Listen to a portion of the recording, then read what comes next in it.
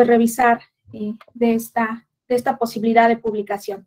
Bueno, vamos a dar inicio a este último a este último módulo del taller titulado Logros y oportunidades en recursos genéticos agrícolas. Vamos a empezar en punto y vamos a cuidar muchísimo los tiempos, ya que el día de hoy por ahí a, mi equipo que se encuentra en oficinas centrales. Eh, van a hacer eh, pues, pues limpieza, limpieza ahora derivado de la pandemia.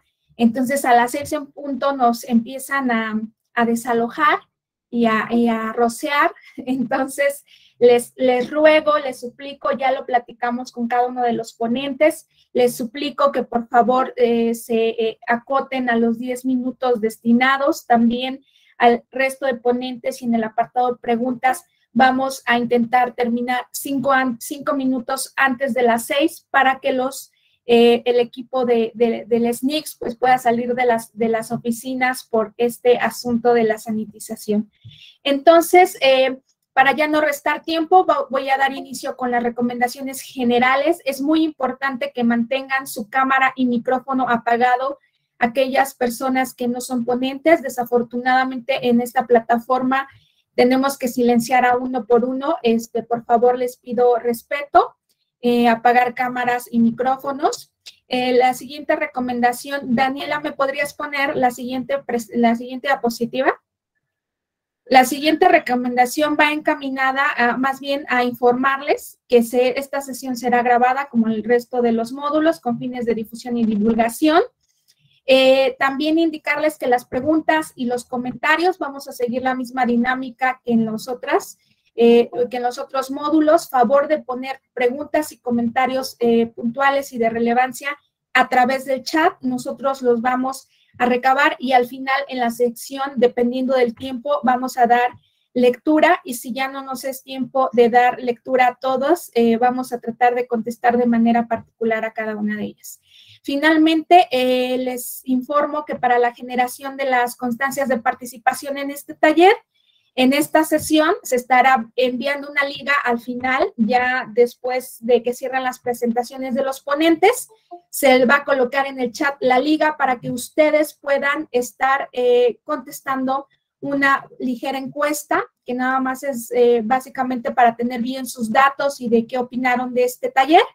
Y ahí eh, es importante que pongan bien su nombre y su correo, porque con ese nombre y a ese correo se destinará la constancia.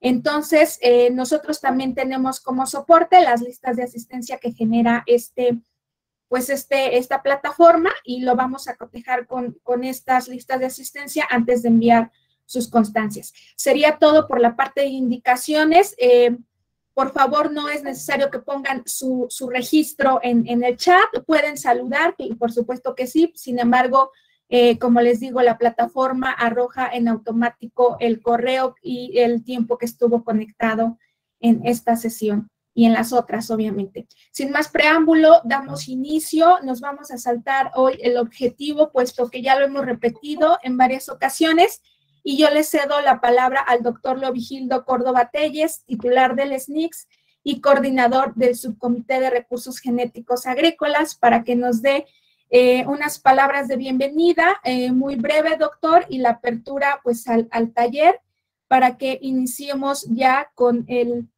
con el tema que nos eh, compete el día de hoy, que sería pues lo que tiene que ver con creación de capacidades. Adelante, doctor Lovigildo.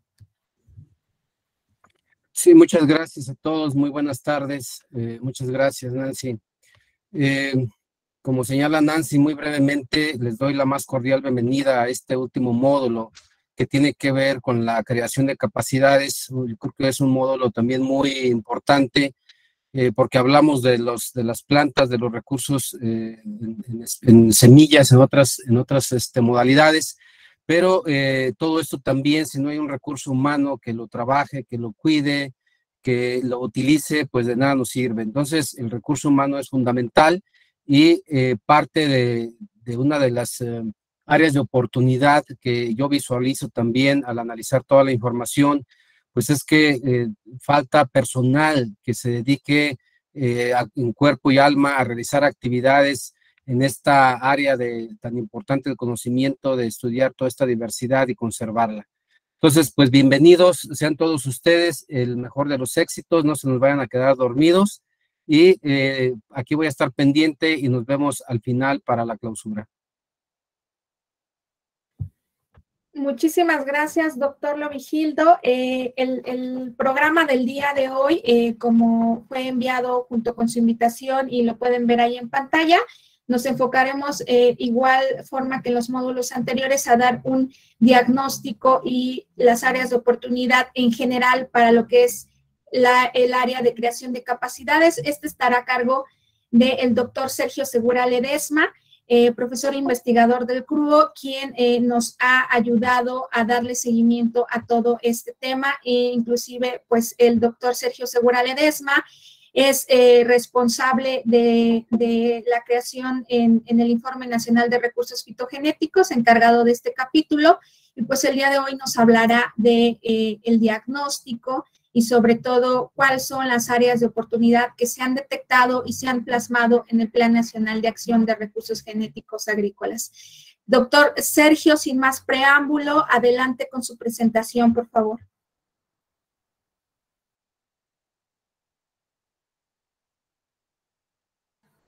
Doctor Sergio, ¿me escucha? Ya lo tenemos por ahí conectado.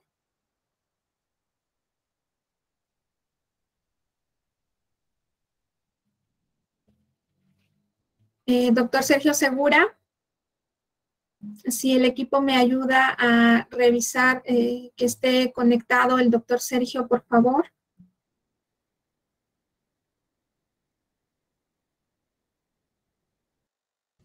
Me parece que se está reconectando.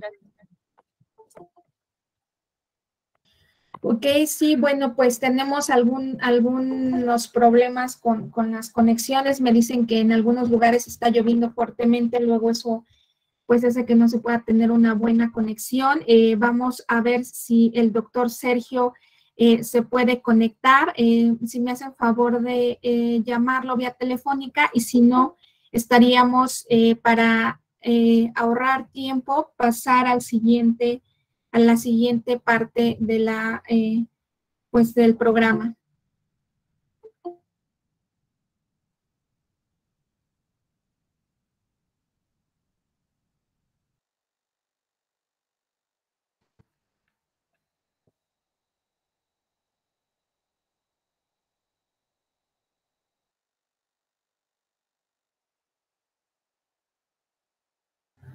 Sí, como les decía, es eh, sustancial ser, eh, optimizar el tiempo, en particular el día de hoy, por este asunto que tenemos eh, que desalojar la oficina en, punto de las seis.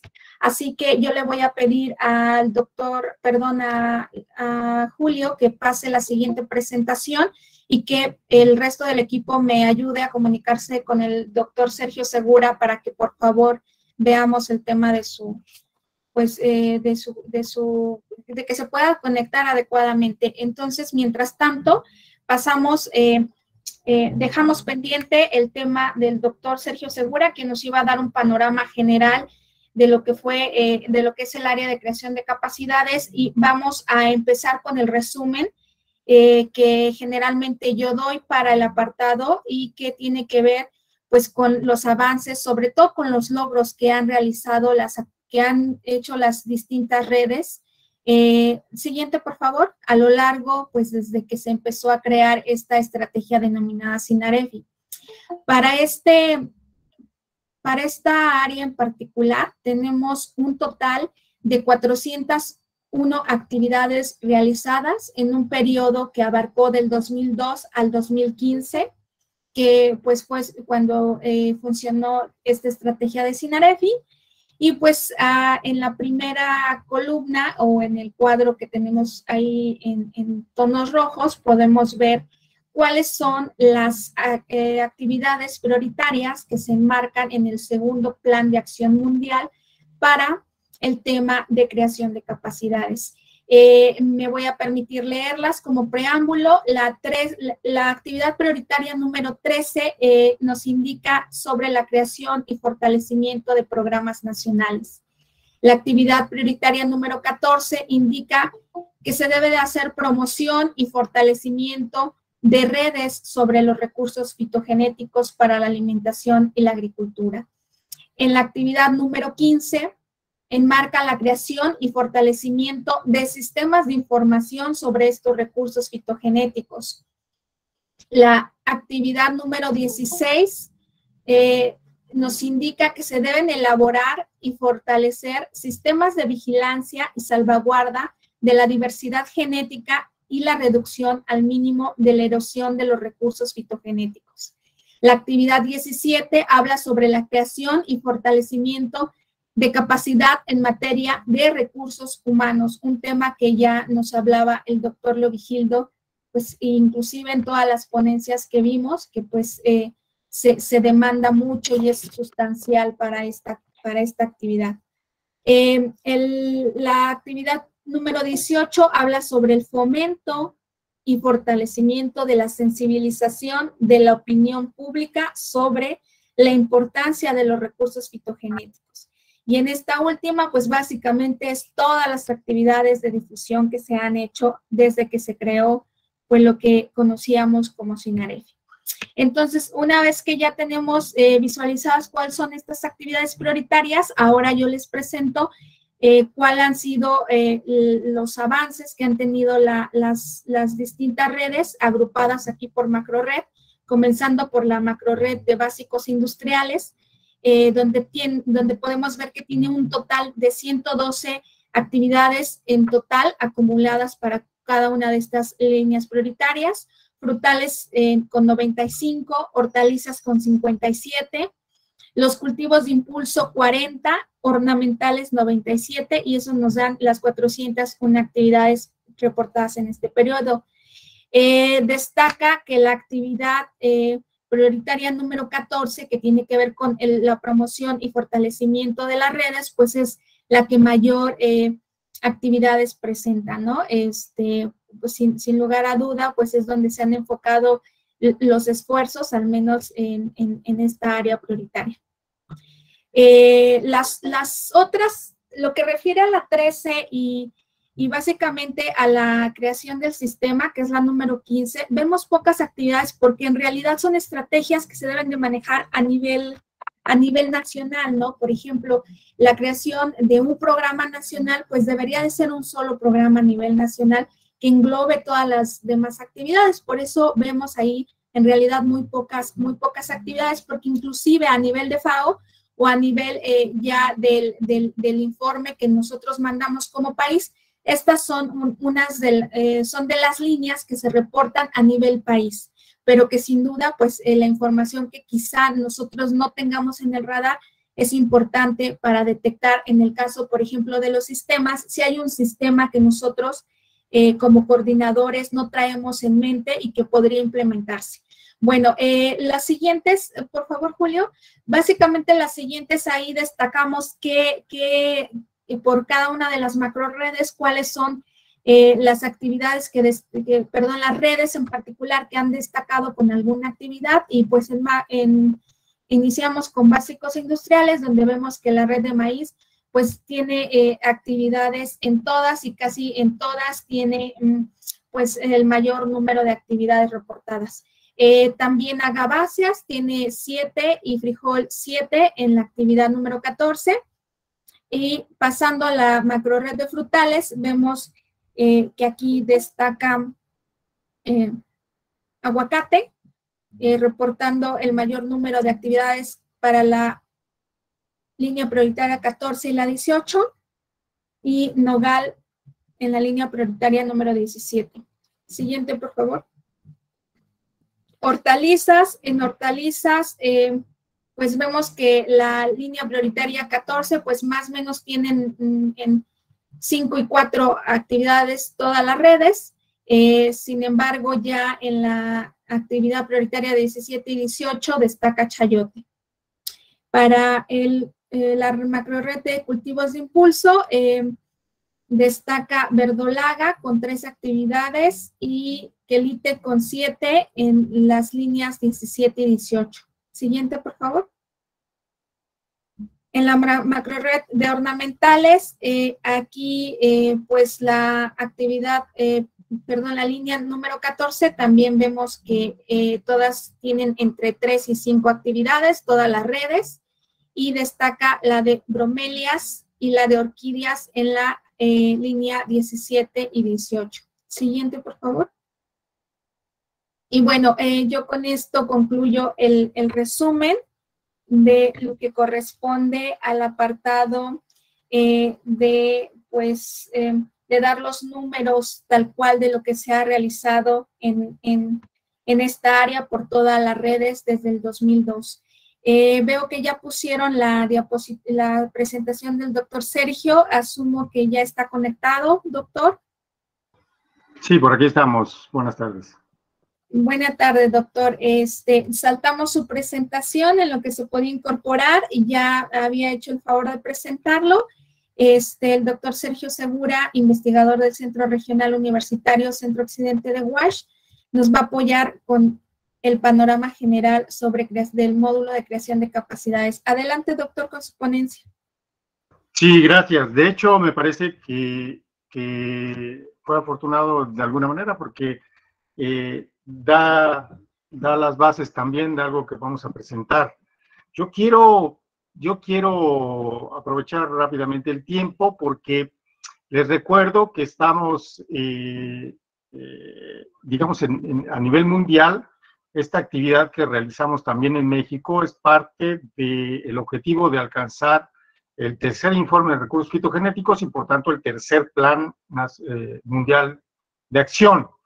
Entonces, nuestra base fue efectivamente el segundo plan de acción mundial también, donde se depuran las acciones que en el primero se, delinearon y entonces eh, ustedes van a ver que la creación y fortalecimiento, decía allí, de programas nacionales era una de las acciones que se requería a nivel mundial que se dieran prioridad. Entonces, eh, bueno, con los colegas eh, hicimos eh, la adaptación de ese plan de acción mundial y estuvimos sintetizando la información que, que fue recabada por los colegas también del SNICS para dar pie o para dar, ver cómo habíamos avanzado en cada uno de, las, de, de los puntos de esta, de esta parte de los planes de acción nacional. Entonces, eh, sin lugar a dudas, eh, hay algunos puntos, vamos a estar revisando, pero aquí les pongo yo los principales aspectos que, nosotros revisamos. Si me hacen favor de la, siguiente. Entonces, eh, lo que es importante anotar, tal vez todos lo saben, es de que, bueno, pues nosotros en México comenzamos en el 2001 2002 realmente ejecutar proyectos del Sistema Nacional de Recursos Fitogenéticos y esto fue operando hasta el 2018 donde ya a nivel nacional eh, se plantea un cambio, la misma Secretaría hace un cambio en sus bases de operación para este tipo de proyectos y entonces estamos prácticamente eh, con, con, en la preparación de este cambio. Ahora, ¿Qué fue eh, el Sistema Nacional de Recursos Fitogenéticos? Pues fueron primero 13 redes que se convirtieron con el paso del tiempo en 44 y que además de eso, dentro de los grandes avances a nivel nacional, pues este que se estableció un Centro Nacional de Recursos Genéticos, no solamente fitogenéticos, sino genéticos. Y entonces estamos, eh, como les decía, con, con la conformación de un comité sectorial de recursos genéticos que, está ya operando y tratando de sentar las bases para lo que va a seguir de la creación de capacidades en el país. Si me hacen favor de la siguiente. En, de manera particular, es evidente que eh, si bien el, el estuvo funcionando hoy eh, y, y, está siendo reestructurado, es importante que el programa nacional recupere esta experiencia. Ah, si las redes funcionaron relativamente con eficiencia, es necesario que éstas eh, continúen y se enriquezcan. Necesitamos integrar al, Centro Nacional y a los demás bancos, obviamente, en, en estas actividades también, o sea, que formen parte del sistema nacional de una manera formal. Por eso, la iniciativa que existe ya en el legislativo tiene que ser impulsada. Adelante, por favor. Entonces, eh, la célula del Sistema Nacional, como, como se vaya a llamar, es algo que en México funcionó y relativamente bien. Tuvo sus bases en los cultivos nativos. Fue con base en la experiencia de los grupos que existían en el país que se formaron las redes. Por eso funcionaron relativamente bien, consideramos, y, de hecho es la opinión también de la FAO se pone a México como uno de los ejemplos de cómo podrían comenzarse las redes a nivel nacional. Pero eso no está siendo suficiente. Los cultivos nativos, claro que son importantes para ser impulsados, pero también en México debemos de reconocer que necesitamos el enriquecimiento de nuestra base genética para los cultivos que nos dan de comer. Y es por eso que en el grupo planteamos también la eh, el aumento, el incremento del número de redes con grupos que sean nativos o no y que actualmente también tienen eh, importancia económica. Los, algunas solanáceas, las berries, por ejemplo, y el varano, algunos no son necesariamente de, de origen nativo de México. Entonces hay un planteamiento para enriquecer, para aumentar y, no solamente con la misma visión de que sean nativos a las redes. es el segundo planteamiento o el 14. Adelante, por favor. Y, y, este fue uno de los puntos, los sistemas de información fue uno de los puntos que nos pareció más urgentes de atender en, en, en el sistema nacional como, como vaya a tomar uh, figura. ¿Por qué? Porque cada institución desafortunadamente bueno, afortunadamente por un lado, porque todos tienen un sistema de información, eso es algo bueno, pero no se han terminado de conectar. todos conocemos que hay iniciativas también internacionales con algunos sistemas de información que algunas de nuestras instituciones como el INIFAB están utilizando, pero se hace un planteamiento serio que si esas, esas eh, plataformas, si me quiero referir específicamente a Green Global, por ejemplo, es lo que más nos conviene. En el grupo vimos que probablemente el sistema nacional debe de eh, utilizar una plataforma que, se, se, estuvo utilizando en Sinarefi, que es Germocal. Ese es el planteamiento que, hacemos, o más bien la inquietud que tenemos y que lo ponemos sobre la mesa con ustedes. Y claro que la política del intercambio de la información tiene que ser también eh, clara. La Secretaría obviamente es el punto focal para eso y creo que eh, si participamos en el sistema nacional debemos de tener una, todos una misma política de intercambio con, entre instituciones nacionales, pero también eh, con instituciones internacionales. Adelante, por favor. Entonces, eh, si, tomamos en cuenta que, el trabajo que hemos hecho con las redes es eh, importante también de conservar y que los recursos son limitados, pues obviamente, y no solamente en nuestro país, pero a nivel mundial sabemos que una de las preguntas principales es la core collection, las colecciones núcleo.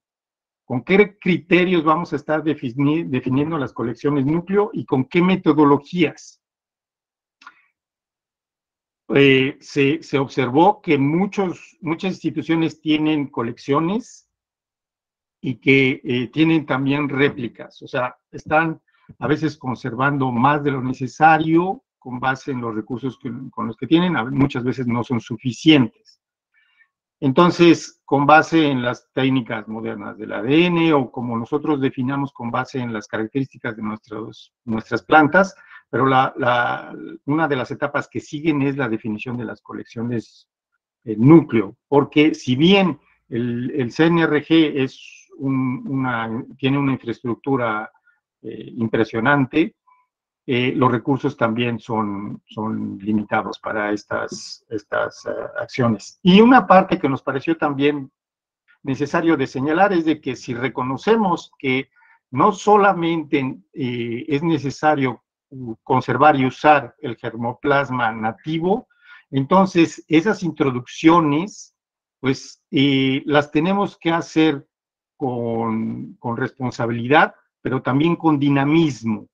Hasta ahora, las introducciones de material del extranjero que podrían enriquecer nuestras colecciones y, por tanto, a nuestro país, no han sido dinámicas. No es fácil introducir, introducir material, material porque no existe una, una digamos, no tenemos como lo, necesario para asegurar una cuarentena y también un uso pronto, porque las, las, las semillas, aunque sean semillas botánicas, pues también eh, sufren al estar almacenadas. Entonces, este es el, planteamiento. Necesitamos un sistema de importación de material dinámico y funcional. Adelante, por favor. En, lo que tiene que ver con las instituciones, déjenme decirles que eh, es evidente que México es una de las instituciones que tiene más, eh, más carreras a, a, nivel de la educación superior, con cursos relacionados con los recursos genéticos. Esto no es casualidad, ustedes lo saben, muchos de, las instituciones donde están ustedes, pues hay profesores muy distinguidos en esto. Y México es, eh, se distingue, al, menos en la región, por ser una potencia en, en la enseñanza. Pero también detectamos que eh, no todo es a través de la enseñanza formal en las universidades, no todo se está realizando a través de eso, que hay conocimiento eh, también desde los productores y desde las comunidades, y que es desafortunado que eh, son personas de mucha edad las que están teniendo este conocimiento y no siempre se está asegurando su transmisión. Eh, aunque no se tienen todos, no se, no se hace un planteamiento muy concreto, sí se dice, sí se hace ver en, nuestro documento que eh, tal vez eh, algunas formas de retribución económica pueden funcionar y que, dado que existen algunos programas que están hoy, hoy digamos, el día de hoy eh, poniéndose en marcha como el Sembrando Vida, es probable que esos, esos esfuerzos nacionales pueden encaminarse también eh, a través del, programa nacional y a través de eh, asegurar también los recursos humanos. Necesitamos que nuestros viejos en nuestras comunidades puedan transmitirle ese conocimiento a las nuevas generaciones y, y claro que ya hay ejercicios hasta no solamente del sector de agrícola, pero también en la Semarnat están, están haciendo actividades y hacemos un planteamiento para que eso sea reforzado en el sistema nacional. Adelante, por favor.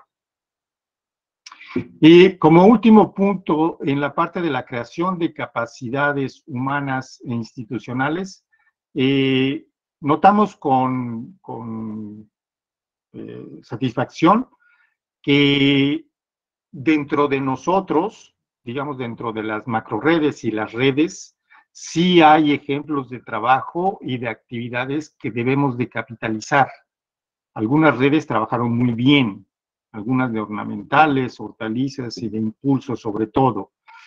Para nos, y, bueno, dentro de los frutales está Carlos Avendaño, quien nos, dará también parte de sus experiencias en este sentido. Creemos que son afortunados, fueron afortunados las ferias de agro, agrodiversidad y agroproductos y, y hasta de, de, gastronomía que se, que se realizaron, materiales se elaboraron por parte de algunas redes y eso consideramos que debe de ser difundido, copiado o emulado de alguna manera por las otras redes. Esos fueron, hasta aquí es el, el numeral, número, el numeral 18 y con esto eh, terminamos parte de la síntesis. Obviamente hay, hay algunos aspectos que no los estoy poniendo en estas diapositivas, como la integración de aspectos más tecnológicos que debemos de preocuparnos también por incorporar a, la conservación al uso de los recursos fitogenéticos, pero con base en, el, en, los lineamientos que nos dieron, llega hasta aquí nuestro, nuestro planteamiento en un esfuerzo eh, de síntesis de las informaciones que afortunadamente nos hicieron llegar. Gracias. Muchísimas gracias, eh, doctor Sergio. Eh, en punto su presentación. Eh, ahora pasamos al siguiente tema. Julio, por favor, ya brindamos el resumen general de también de los avances que han tenido cada una de las redes en cuanto a números específicos de actividades. Las, ya es esa, ¿verdad? Entonces, con esto damos inicio a las ponencias eh, eh, por cada línea eh, actividad prioritaria, comenzando por esta, que es la creación y fortalecimiento de programas nacionales.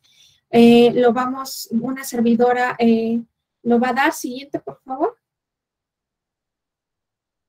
Ok, bueno, en el segundo plan de acción mundial nos dice que la creación y fortalecimiento de programas nacionales tienen el objetivo de satisfacer las necesidades nacionales para la conservación, y la utilización sostenible de los recursos fitogenéticos por medio de la aplicación de criterios racionales, eficaces, coordinados y apropiados en beneficio de las generaciones presentes y futuras.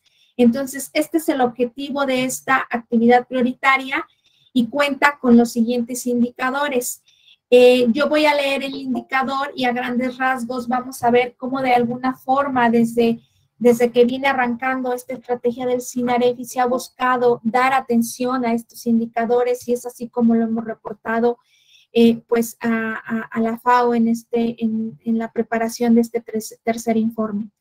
El indicador eh, número 45 para esta actividad prioritaria nos dice que si existía de un, perdón, si hay o existe una entidad nacional, como lo es un comité, una comisión, un consejo, que funcione como mecanismo de coordinación de las actividades y las estrategias relativas a los recursos fitogenéticos.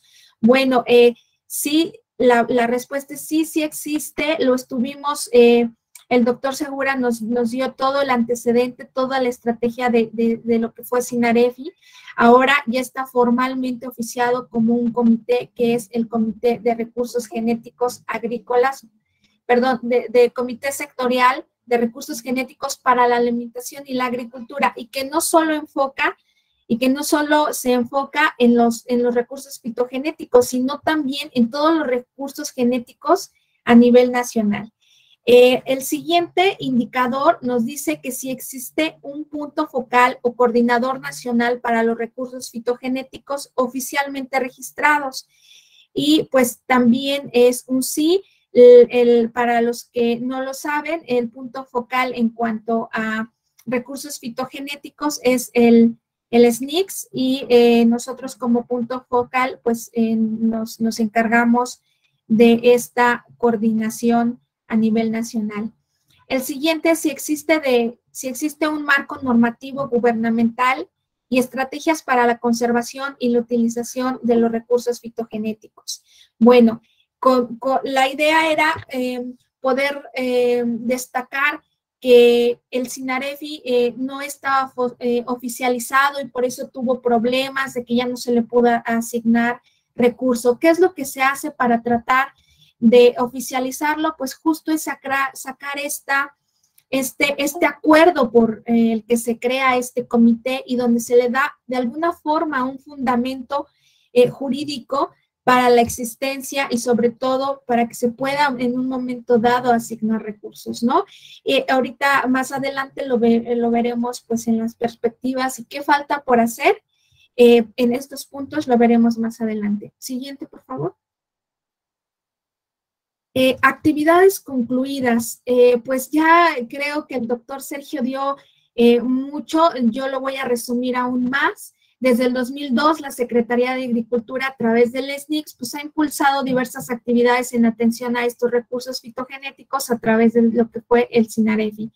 Con esta estrategia se atendieron 45 cultivos con centro de origen, domesticación o diversidad en México a través de la creación de redes de trabajo con la participación de 60 instancias, 400 investigadores y más de 500 productores. Derivado de este esfuerzo, se resguardan más de 60 mil accesiones en los bancos de germoplasma. Se trabajó con agricultores para la conservación in situ de 52 razas de maíz y mejoramiento participativo y se establecieron 26 bancos comunitarios de semillas, así como el registro de 233 variedades de uso común de 24 cultivos y 26 variedades de 8 cultivos con título de obtentor. Eh, también se generaron poco más de 400 publicaciones. El dato exacto ahorita nos los va a dar Julio en el apartado de fomento y difusión. Siguiente, por favor, Julio. Ahora, eh, ¿qué actividades están en marcha? También ya lo dijo a grandes rasgos el doctor Sergio Segura, eh, para formalizar la atención de los recursos y generar todos los recursos, perdón, para formalizar la atención de los recursos fitogenéticos y en general todos los recursos genéticos, como yo les decía, la Secretaría de Agricultura publicó el acuerdo de creación del Comité Sectorial de Recursos Genéticos Agrícolas. Ahí podemos ver, eh, engloba todos, eh, más bien se atienden todos los recursos genéticos excepto los forestales. Y con esto, pues se conforman los cuatro subcomités que ahora existen que es el que nosotros atendemos, el subcomité de recursos genéticos agrícolas, el de recursos genéticos acuáticos, el de recursos genéticos microbianos invertebrados y el de recursos genéticos pecuarios. En el caso de nuestro subcomité, cuenta con, eh, rescata esas seis macroredes eh, que engloban las 45 redes. Siguiente, por favor.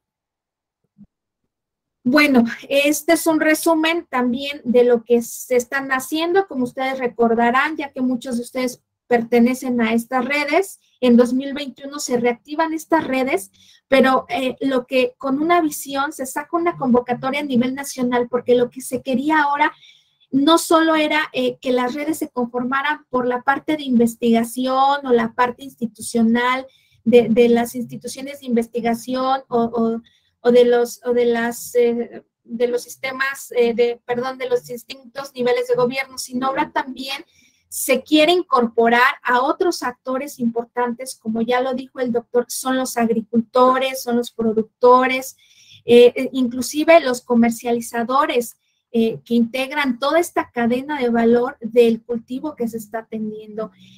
desafortunadamente, cuando se lanza la convocatoria, muchos pensaron que era para un apoyo directo, eh, más que como para una conformación de red de trabajo con miras a ordenar eh, todo lo que tiene que ver con el recurso eh, en, mención. Y tuvimos un, primero, por ejemplo, en maíz, se llegaron a inscribir a nivel nacional 900 personas en la red, sino, perdón, más de 600 personas en la red. Y bueno, fueron desertando muchos cuando ya vieron que no había un, un apoyo directo y sobre todo pues esta planeación y este ordenamiento que requiere el trabajar en una red, ¿no? Eh, eh, afortunadamente los que siguen eh, consideramos que son personas que de verdad les interesa trabajar en y que toda su vida han dedicado a, esto y pues agradecemos que, que, sigan, este, aun cuando la... Ah, pues el, recurso ha sido limitado, sobre todo la búsqueda de recursos ha sido complicado. Eh, también tenemos el, en 2021 que se hizo el diagnóstico y la elaboración del plan estratégico. Este plan estratégico pues forma parte, eh, son todos los planes estratégicos que están haciendo las redes, que forman parte del Plan Nacional de Acción, inclusive del grupo perdón, del, plan de trabajo que no solo es de nosotros, sino que es de todo el comité, como ya lo mencionaba, y que esto se suma a esa estrategia del comité. Eh, y en 2022, ahí podemos ver qué es lo que se sigue haciendo. Nos faltan 17 planes estratégicos de, de, obviamente, de las 17 redes que aún no lo entregan. Entonces, este año esperemos que lo puedan finalizar. También están, está en la implementación eh, bueno, por hacer hay que implementar. Ya tenemos el plan nacional, pues ahora, ¿qué debemos de hacerlo?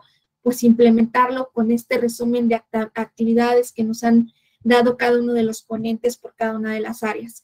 La priorización de actividades para elaborar proyectos estratégicos. Este ejercicio ya lo hicimos con las redes. Sabemos que tienen muchas necesidades en muchas áreas, pero hay que priorizar para poder ver por qué, por qué iniciamos, ¿no? Esto ya está contenido inclusive en uno de los proyectos que les hablaba el doctor Leo Vigildo, él está en búsqueda de recurso. Una vez que haya recurso, se van a canalizar a estas actividades que ya ustedes nos hicieron favor de priorizar. Eh, y obviamente, pues la gestión de recursos, que es una tarea permanente. La siguiente, por favor. ¿Qué falta por hacer? Fortalecer los elementos esenciales de un programa nacional integrado a través de este subcomité, que incluye situación nacional reconocida, marco normativo jurídico e institucional adecuado, incluido mecanismos para la planificación y la acción coordinada. Para esto, pues la propuesta es que, se debe de contar con una legislación nacional en la materia. Si, si no es que se puede en todos los recursos genéticos, por lo menos sí en los recursos fitogenéticos, que fomente la conservación, el uso sostenible y el reparto justo y, equitativo derivado de su utilización.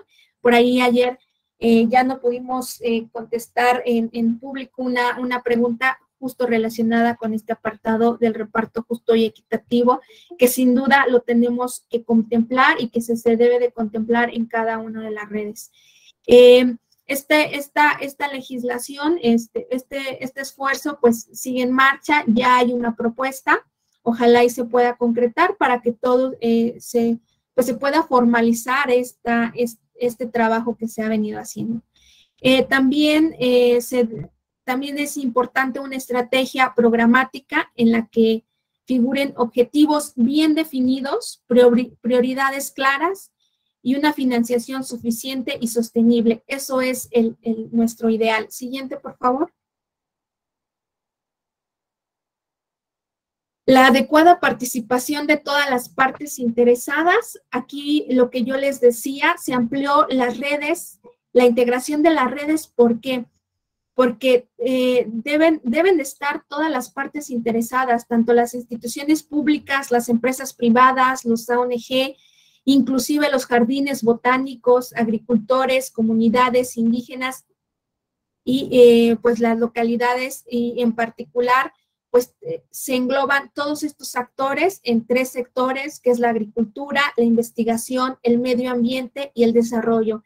Y aquí es un gran desafío, sobre todo, allá decía, pues para los que toman las decisiones, porque eh, es, es, muy complicado. Ahí vemos que estas, estos tres sectores, pues, obedecen a secretarías eh, en, nuestra estructura secretarías distintas, ¿no?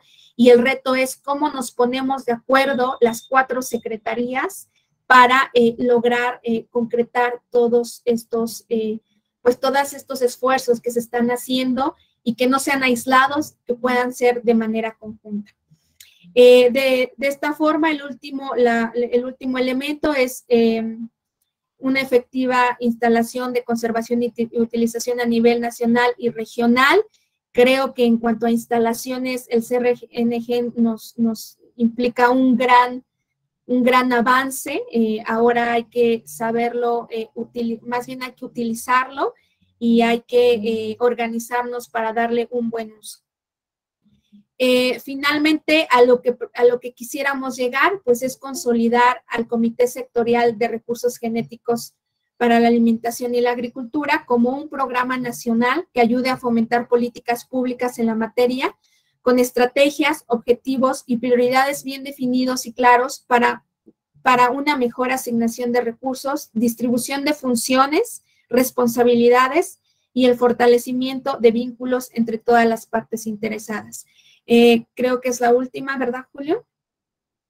Con esto termino eh, la, ponencia de este primer, eh, de esta primera actividad prioritaria que tiene que ver pues con la creación de programas nacionales.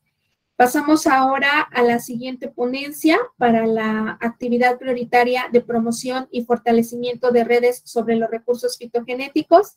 Aquí vamos a tener la participación de tres de tres redes. perdón, aguacate no participa, entonces solo vamos a tener la participación de chayote y de cacao. Eh, iniciamos con el doctor Jorge Cadena Íñiguez, profesor investigador del Colegio de Postgraduados del Campus San Luis, con su eh, ponencia sobre los logros y las oportunidades para esta actividad en particular. Adelante, doctor. Muchas gracias, buenas tardes a todos. Nuevamente agradecido de estar aquí. Hablaremos eh, brevemente de la promoción y en primer eh, está bien, promoción y fortalecimiento. En primer lugar, este, revisar los cuatro grandes objetivos que marca el plan. Fomentar las asociaciones y sinergias entre los países, em, con el fin de organizar un sistema mundial más racional y rentable para la conservación y utilización de los recursos fitogenéticos. Garantizar la sostenibilidad de las redes mediante el análisis y la identificación de los beneficios de la participación, que es una tarea muy fuerte, y subrayando su contribución al logro de una conservación y uso sostenible de los mismos recursos a nivel nacional, regional, y mundial. Facilitar el establecimiento de objetivos y prioridades ecorregionales, regionales y temáticos integrados para la conservación y la utilización sostenible de los mismos recursos fitogenéticos y promover la participación de todas las partes interesadas en las redes y en particular la de las mujeres que se dedican a la agricultura y los fitomejoradores locales y garantizar la contribución de asociaciones entre los sectores público y privado. Si ustedes pueden apreciar estas cuatro, estos cuatro aspectos, en realidad es que prácticamente los antecedentes para una política, una política de operación. Y esto va de la mano con uno de los temas que se van a venir más, un poquito más tarde, para que no lo perdamos de vista. El que sigue, por favor. Fomentar asociaciones entre países. Bueno, nosotros como Red Chayote tenemos eh, el único país con, con el que estamos trabajando de forma muy estrecha pues es con la Universidad de Tsukuba, el Japón, y les podría decir que el ejemplo más eh, patente, más puntual es que diseñamos un formato para interpretar y operar en un primer protocolo de Nagoya o, un primer acuerdo de transferencia de materiales. Y es algo muy sencillo. Hay un cultivo, una, este, hay una institución o instituciones interesadas, hay un cultivo que se puede requerir para investigación o comercialización. Por acá tenemos un banco de germoplasma, que en este caso es chayote. Tenemos de muchos, todo el incremento a la caracterización, la biodiversidad, todo lo que hemos hablado el día de ayer y que conocemos de todas las redes y que sabemos que hay propiedades tangibles o intangibles de, de esos materiales. Tenemos el acceso, eh, el acceso al recurso genético, pero de la forma más disciplinada que nosotros entendimos que se puede hacer este eh, enfoque de asociación entre países es pues a través y los materiales los tenemos en un banco de germoplasma caracterizados, conservados, multiplicados y registrados legalmente ante el SNICS, sean variedades de uso común o sean variedades derivadas por el proceso de obtención. Y esto nos ayuda a tener un formato de disciplina en la interacción entre países, que es algo de lo que busca esa política de la lámina anterior. Adelante. Y aquí lo podemos ver. En ese momento el, el, punto focal pues es la Semarnat, sin embargo el, el Semarnat nos dijo, también participa la Zagarpa, denominada así en ese momento, y la Zagarpa nos dijo, debe participar el SNICS y entre todos acordamos a lo largo de muchas reuniones cómo tenía que ser el acceso facilitado, con qué fines, de dónde se obtenía todo esto, con la finalidad de eh, no regalar los, los, ellos querían todo, ¿no? Simplemente le dijimos, te podemos dar estas y nada más y puede ser para esto, esto, y aquí están mis alumnos y te los vas a llevar y los vas a preparar y aquí están, en fin, una serie de cosas establecidas en esos términos y condiciones y referencias de la asociación, lo que estaba estableciendo el modelo contractual de asociación.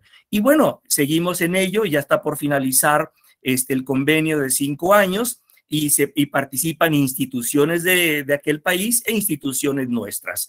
Entonces, todo lo que hemos venido platicando durante tantísimos años nos tiene que llevar a un proceso de disciplina, un proceso de disciplina y acuérdense que ganar dinero no es pecado, todavía no lo ganamos, pero esperamos ganarlo precisamente para poner los proyectos, poner en marcha los proyectos, sean de investigación, de educación, de biotecnología, de desarrollo social, de desarrollo económico, de productores, de todo se puede hacer. Adelante. Entonces, la otra es garantizar sostenibilidad identificando beneficios. Bueno, pues aquí todo también en una sola de las actividades, ¿eh? podemos hacer esquemas para cada una, pero pensemos en la conservación in situ.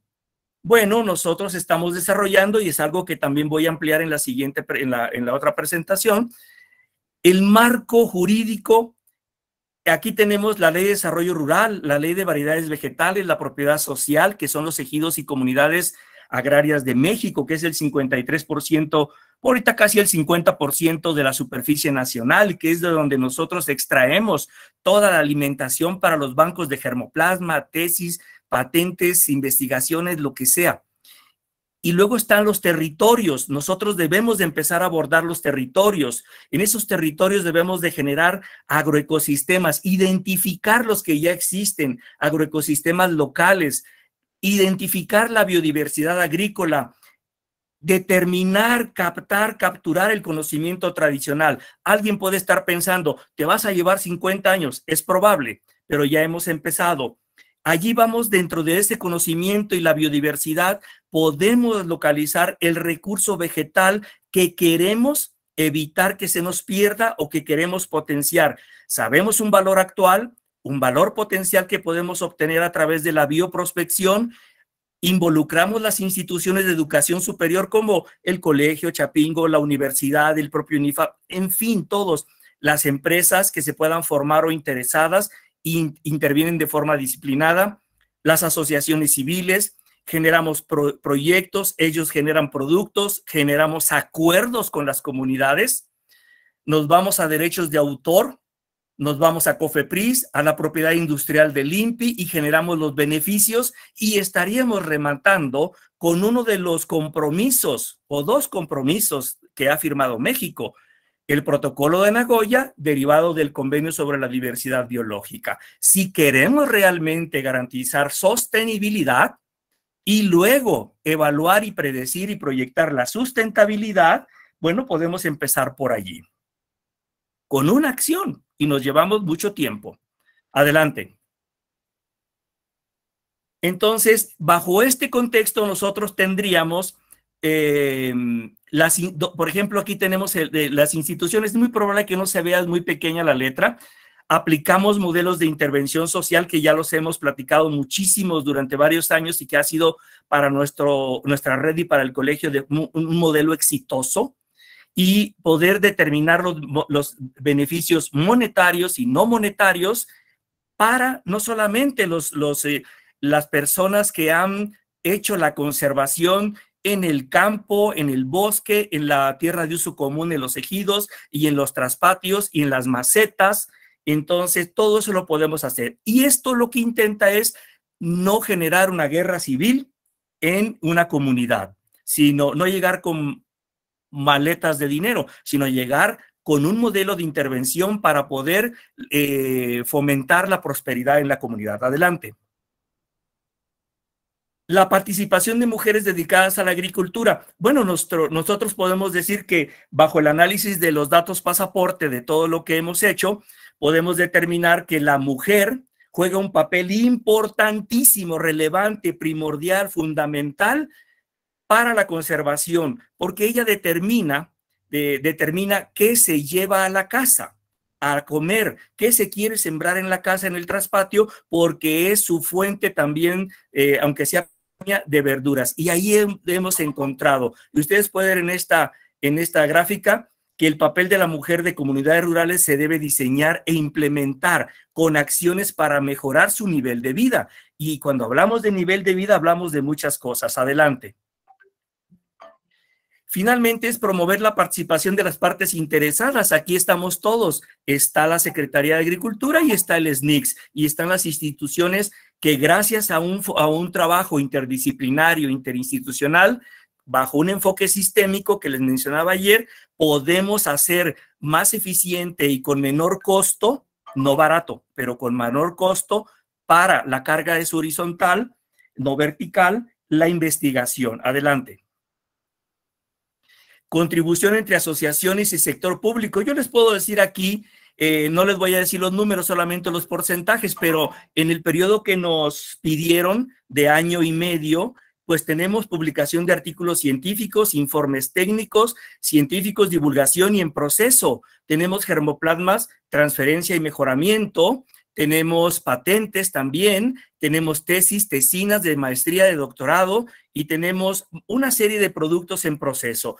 Lo que yo quiero remarcar con esto es que la contribución entre asociaciones, sector, sector público y privado, siempre va a ser benéfico y nos va a dar, eh, nos va a redituar indicadores para las instituciones, indicadores para la Secretaría, para el propio SNICS, pero necesitamos sentarnos ya para establecer modelos de operación y financiamiento para con los y para los actores de la comunidad rural. Creo que es la última, ¿verdad? Gracias, sí, gracias. Muchísimas gracias, doctor Jorge. Excelente ponencia y un tema muy interesante el que, el que menciona. Para cerrar, eh, bueno, le agradecemos mucho. Ahora, para cerrar eh, esta actividad prioritaria de promoción y fortalecimiento de redes, tenemos la participación del doctor Carlos Avendaño Arrasate, investigador eh, del INIFAP en campo experimental Rosario Zapa, quien nos hablará de la red de cacao para esta actividad prioritaria. Adelante, doctor. Muchas gracias, maestra. Buenas tardes a todos. Eh, vamos a platicar un poco de lo que estamos haciendo en promoción y fortalecimiento de, de las redes de cacao. Adelante, por favor. Y bueno, ahí está unas dos imágenes de, de, los que iniciamos la red de cacao en 2009, después de 13 años que seguimos trabajando y hoy aprovecho para dedicarle esta presentación a nuestro gran amigo, el doctor José Luis Moreno Martínez, que hace unos meses falleció y que él fue uno de los promotores también de la red y que abrió la red de Nance y que en el viejo, en el bajo mundo le decíamos nuestro como el Nanche. Bueno, quise aprovechar esta, esta presentación ahí están las instituciones, unos salen, otros entran, pero la gran mayoría este, nos mantenemos en la red. La que sigue, por favor. Eh, ¿Qué estamos haciendo? En eh, nuestra actividad principal es eh, la investigación, el desarrollo, la innovación y la difusión de cómo aprovechar de manera sostenible la diversidad.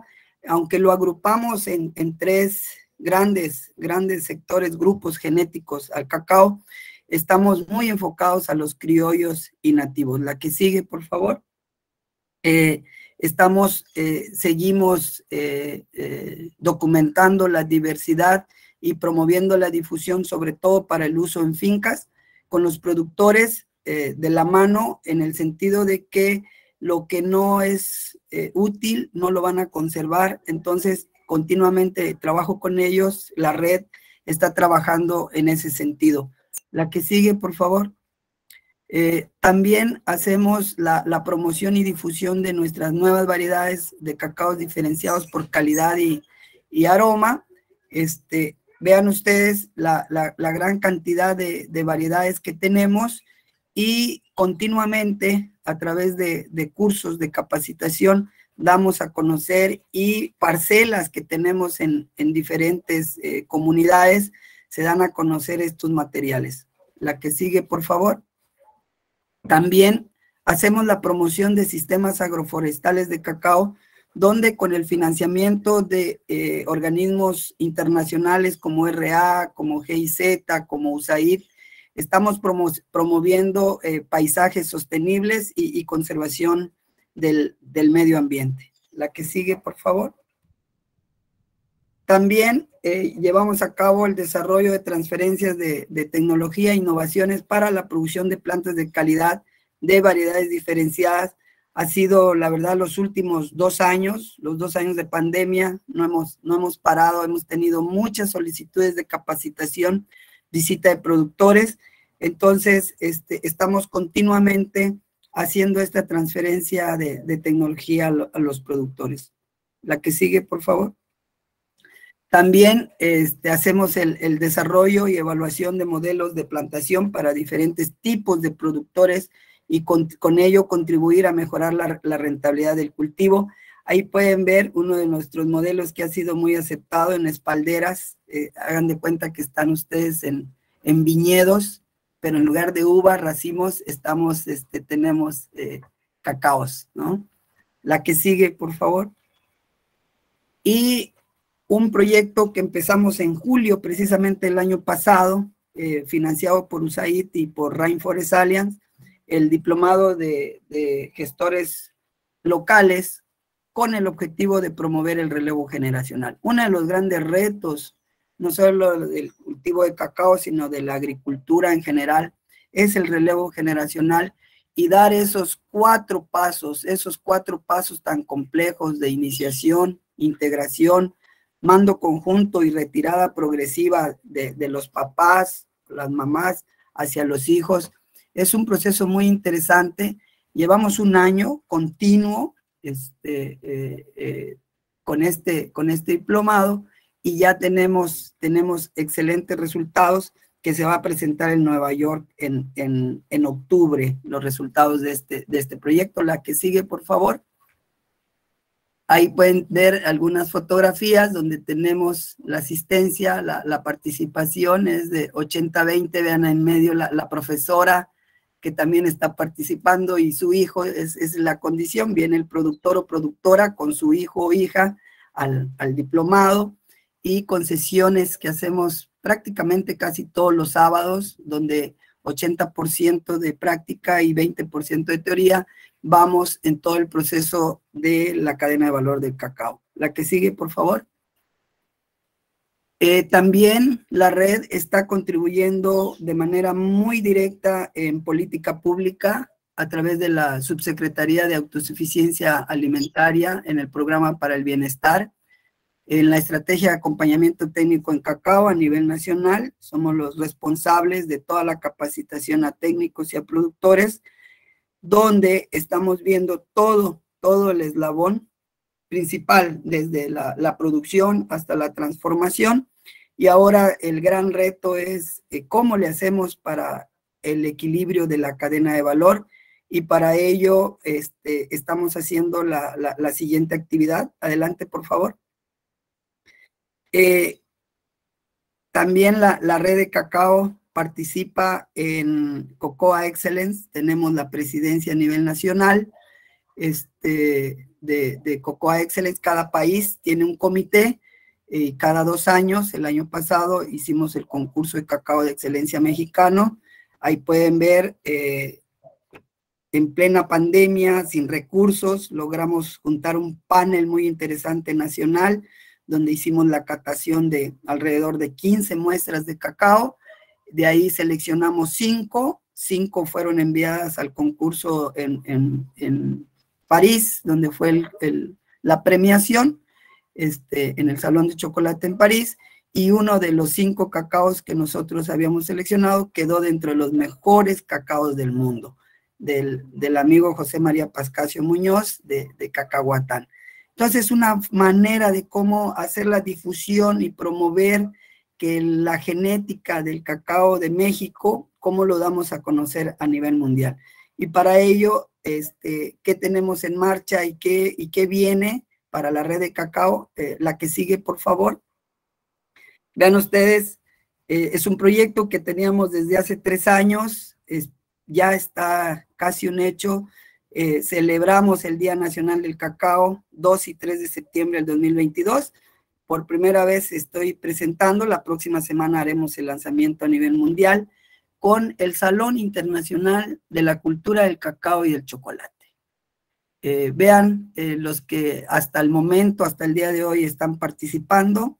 Este, nuestro reto es cómo unir a la cadena de valor, todos los actores de la cadena de valor. Entonces, por eso creamos el Salón Internacional de la Cultura del Cacao y Chocolate, donde en ese espacio puedan converger las ideas, las formas de pensar y sobre todo que le demos visibilidad a nuestros productores a través de la genética del cacao. Yo creo que es la mejor manera de conservar esa diversidad a través del uso, la promoción y que el productor pueda vivir bien de producir cacao. Entonces, en este evento, donde se están sumando muchas, muchas, muchas instituciones, pueden ver ahí chocolateros nacionales, internacionales, locales. Desde luego, la red de cacao está jugando un papel muy, muy importante.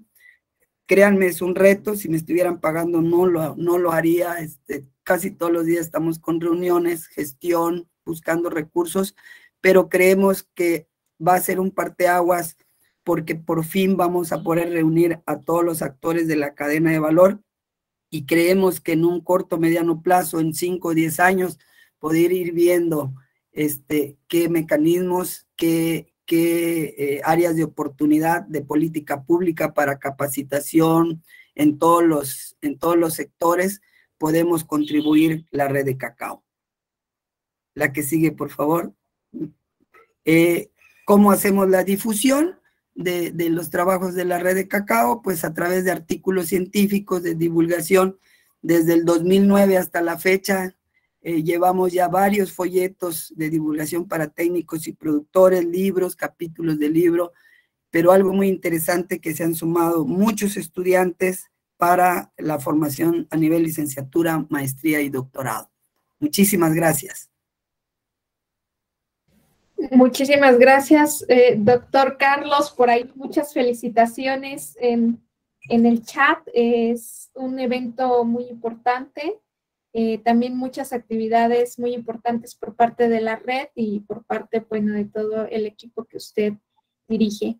Eh, sin más preámbulo, ay, muchas gracias por ajustarse al tiempo. Sin más preámbulo, pasamos a la siguiente presentación, que es, con esto concluimos básicamente la actividad prioritaria de promoción y fortalecimiento de redes y pasamos a la siguiente, que es creación y fortalecimiento de sistemas amplios de información sobre los recursos fitogenéticos. Eh, aquí esta presentación estará a cargo del ingeniero Ernesto Río Santos, jefe de Departamento de Centros de Conservación de aquí del SNICS, quien nos hablará eh, pues de lo que es el Bangermex y bueno, con una pequeña introducción de qué son estos sistemas de información y para qué nos sirven. Adelante, eh, Ernesto, por favor. Hola, buenas tardes a todos. Este, como ya lo mencionó la maestra, mi nombre es eh, Ernesto Río Santos y colaboramos aquí en oficinas centrales del SNICS en la Dirección de Recursos Fitogenéticos. Eh, un gusto saludar a todos por este medio y bueno, vamos a esta tarde a platicar un poquito sobre el sistema de información de bancos de germoplasma mexicano que se llama Bangermex, esto un poquito abonando a la línea 15 del plan de acción. La siguiente, por favor. Bien, este, pues mi plática la he estructurado en cuatro apartados. El primero es eh, una, breve introducción, el segundo es eh, actividades realizadas, el tercero principales resultados y por último, ¿qué falta por hacer? Esto con una visión este, a futuro, eh, a corto plazo. La siguiente, por favor. Bien, pues a manera de introducción, y partiendo de que la conservación de germoplasma en bancos en sus diversas etapas y estrategias comprende una gama de actividades de las cuales se deriva mucha información, pues tenemos que a la actividad de registrar, organizar y analizar datos propios de esta conservación se le denomina eh, documentación. Bien, pues la documentación se puede realizar de dos maneras. Eh, la primera puede ser de manera manual y la segunda computarizada. Actualmente eh, la mayoría de los bancos de germoplasma eh, pues ya maneja una documentación computarizada. Bien, pues es fundamental para conocer el germoplasma y tomar decisiones sobre su manejo. Y aquí podemos responder una interrogante. ¿Qué es lo que se documenta? Pues se documentan datos pasaporte de adquisición, registro, almacenamiento, regeneración, caracterización, evaluación y distribución de, las accesiones. Y bien, pues esto nos ayuda a responder, a responder perdón, eh, interrogantes como lo pueden ser, eh, qué hay conservado en estos bancos de gemoplasma, cómo está, en dónde está, eh, cuándo se obtuvo y para qué será utilizado. La siguiente, por favor. Bien, pues de manera general las características que se debe cumplir para que nosotros denominemos que tenemos un buen sistema de documentación son las siguientes. La primera es que debe de ser exacto, debe de ser organizado y tener buena funcionalidad. Asimismo, ser flexible y, tener facilidad de manejo. Eh, de manera general, un sistema de documentación debe contener información de valor para tanto los que conservan el material como para sus usuarios. Y bueno, aquí en la parte este, derecha, en la parte baja, eh, pongo una serie de ejemplos de los sistemas de documentación de, que se manejan eh, a nivel mundial. Tenemos como claro ejemplo al Green Global, al Genesis, al Mansfield Database, al CISTO de Norgine y al ISIS, que es un sistema internacional de información sobre cultivos, que son los más conocidos. La siguiente, por favor. Bien, en tres puntos eh, traté de, de, resumir la importancia de los sistemas de documentación. El primero sería eh, disponer de un software especializado para la sistematización de la información en bancos de germoplasma. El segundo, garantizar el adecuado funcionamiento de estos bancos y generar trazabilidad de del germoplasma que se distribuye. Eh, los datos de germoplasma, los datos de pasaporte, colecta, caracterización e inventario son los que dan valor a cada accesión y bueno, la falta de esta documentación pone en riesgo la utilización de los materiales. La siguiente, por favor. Bueno, pues un poquito eh, a manera eh, cronológica, eh, se han realizado diferentes esfuerzos en torno a estos sistemas de documentación. Y bueno, en 2010, dentro de la red de centros de conservación y en el seno del SINAREFI, pues nace el sistema de documentación que en aquel momento se le denominó Germocali. Eh, este sistema eh, quedó obsoleto y pues ya no hubo recurso tampoco para continuar con, el resto, con el desarrollo de los módulos que se habían planeado. Eh, las accesiones que se lograron sumar en este, en este sistema fueron 15.847 de 470 especies. Bien, por otro lado, en 2013, en Costa Rica, nace nace un sistema de documentación denominado SBD Germoplasma. Y bueno, este software es especializado y de uso libre. Eh, los desarrolladores fueron eh, Alexander Salas Sanabria y José Mata, que en aquel momento eran los curadores del Banco del Centro Agronómico Tropical. Bien, nosotros eh, en 2017 como institución tuvimos un primer acercamiento con este software y, se dio básicamente en la primera edición del curso internacional eh, de administración de bancos de germoplasma a nivel Latinoamérica. En aquel momento nos invitó INIFAP y pudimos corroborar los alcances que tenía esta herramienta. Fue ya hasta 2018 que bajo el nombre de Bangermex nosotros adoptamos eh, este software y bueno, este esfuerzo se coronó con un taller que tuvimos dirigido para 21 curadores eh, de bancos de germoplasma a nivel nacional, el cual fue financiado por PNUD a través del CONACID. Eh, en 2019, pues se continuó con la documentación de las accesiones que, se, que se resguardaban en la red de centros de conservación.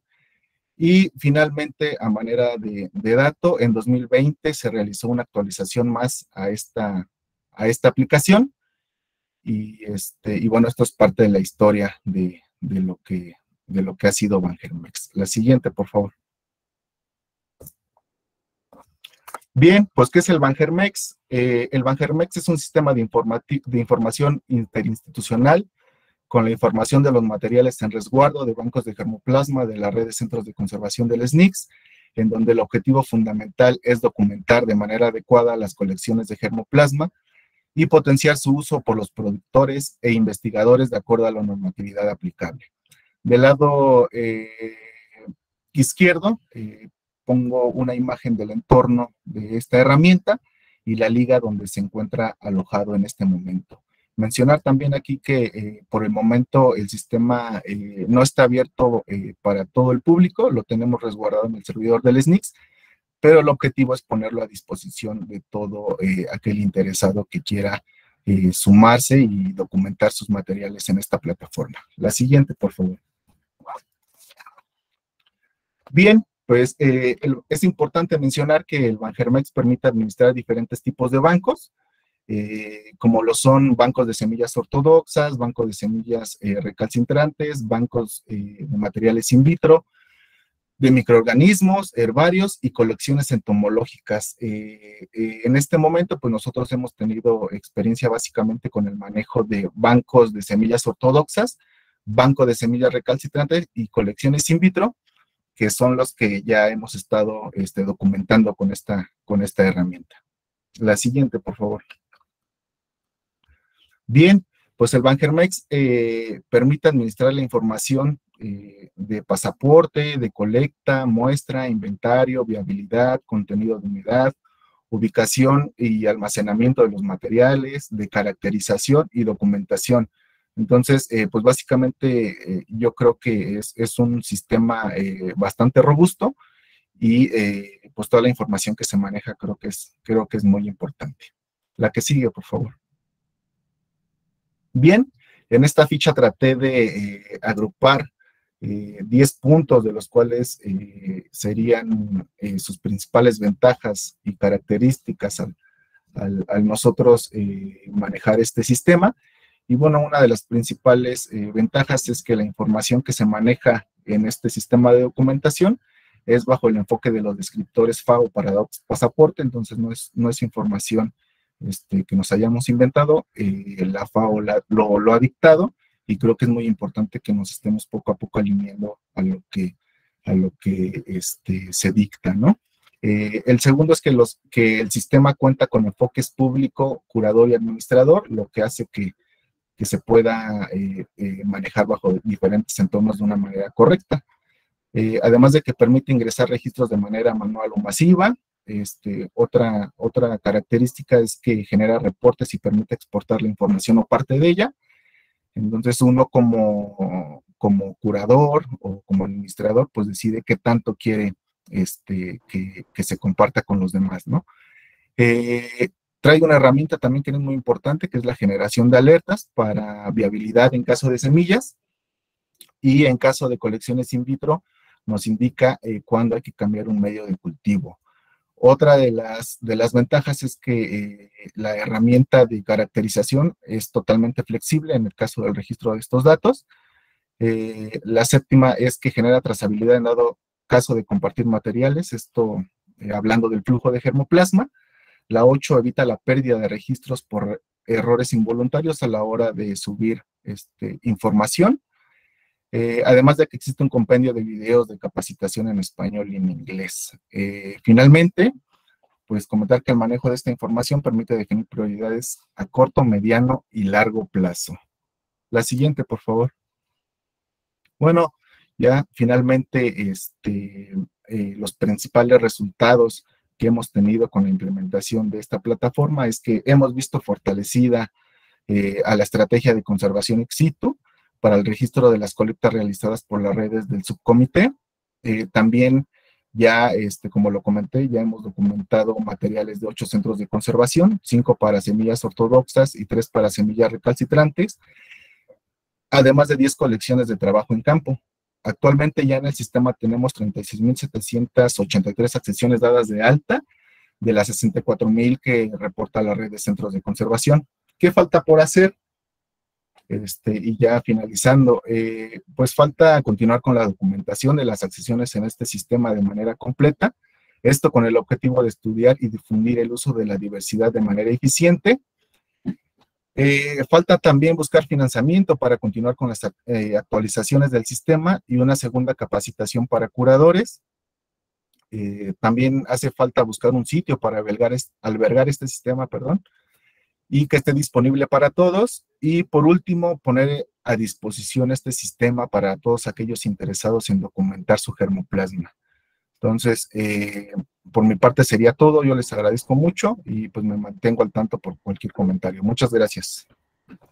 Muchísimas gracias, eh, ingeniero Ernesto, por eh, darnos este panorama tan eh, relevante del banco y sobre todo la importancia, por qué tener pues ordenados y disponibles estos datos de, de colecta.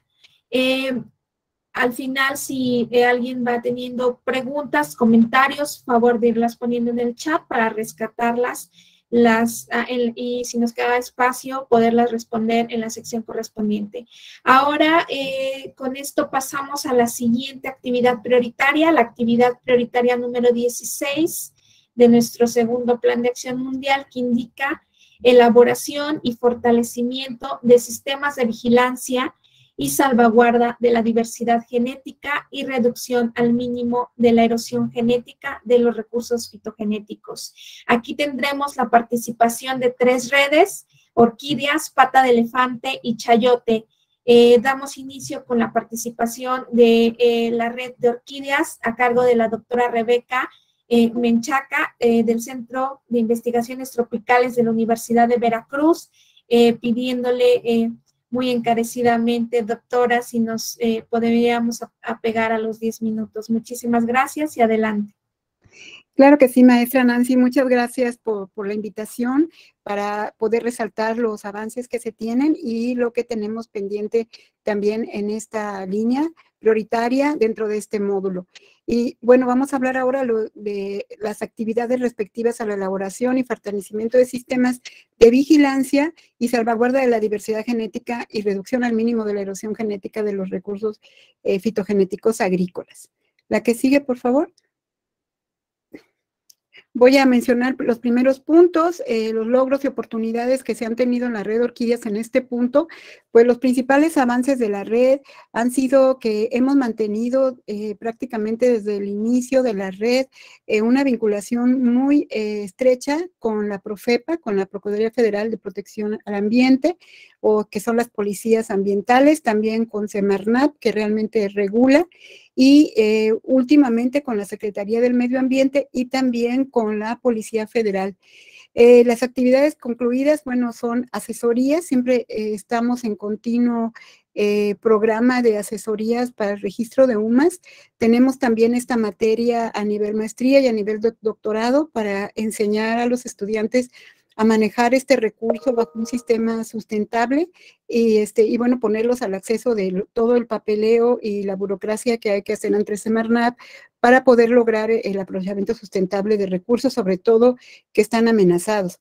Dentro de las actividades en marcha, bueno, eh, el orquidario tenemos desde 2010 el registro como una unidad para el manejo ambiental y estamos incorporando una nueva, que son cinco hectáreas que se acaban de anexar a la universidad, en donde se está desarrollando bajo un proyecto con ACID el agrobosque Caná, que es un módulo de educación abierta donde los estudiantes y las personas de las comunidades cercanas comparten el conocimiento, eh, sobre todo de la milpa, de los cafetales y del bosque y de plantas medicinales también.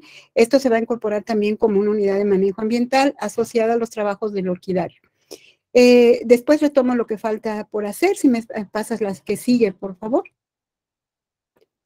Bueno, eh, nada más a manera de, introducción, esta línea prioritaria busca apoyar la elaboración de planes nacionales para la conservación y uso sostenible de los recursos genéticos, promover medidas preventivas y aún más correctivas, y así como vigilar su aplicación.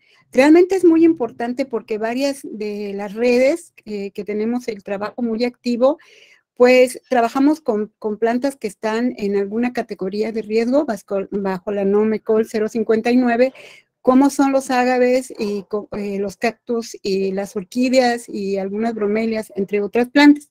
Entonces es muy importante estar eh, al día con todas estas eh, normas y todas estas leyes de protección al ambiente. La que sigue, por favor. Dentro de los trabajos que hemos tenido con vinculación con la Profepa, pues hemos sido nosotros además eh, pues gestores en dar cursos de capacitación a los este, inspectores de Profepa para que ellos puedan identificar los materiales o las plantas que decomisan que están en alguna categoría de riesgo. Y también hemos dado cursos a la Policía Federal eh, para poder detectar eh, algunos decomisos que vienen, incluso también hemos recibido decomisos que se han hecho por paquetería eh, de cactáceas y, y, de orquídeas principalmente, algunas cícadas también y helechos arborescentes. Y también se ha tenido eh, acercamiento con Sembrando Vida, con técnicos de Sembrando Vida, en especial para dar capacitación sobre cursos de vainilla, dado que es una especie de cultivo, una orquídea de cultivo, pero también está catalogada como amenazada. Entonces, bueno, se tienen que tener todas las normas también para poder sobre todo vender como planta. La que sigue. Y bueno, desde hace mucho tiempo nosotros somos receptores de decomiso de orquídeas que se venden en el mercado ilegal. Eh, dentro de todas estas plantas que nos llegan, pues son como están viendo esta acineta, que es una orquídea de muchísima importancia ornamental. Entonces, ¿qué se hace? Bueno, se recibe, se ayuda con la identificación, con el listado, con el levantamiento del acta.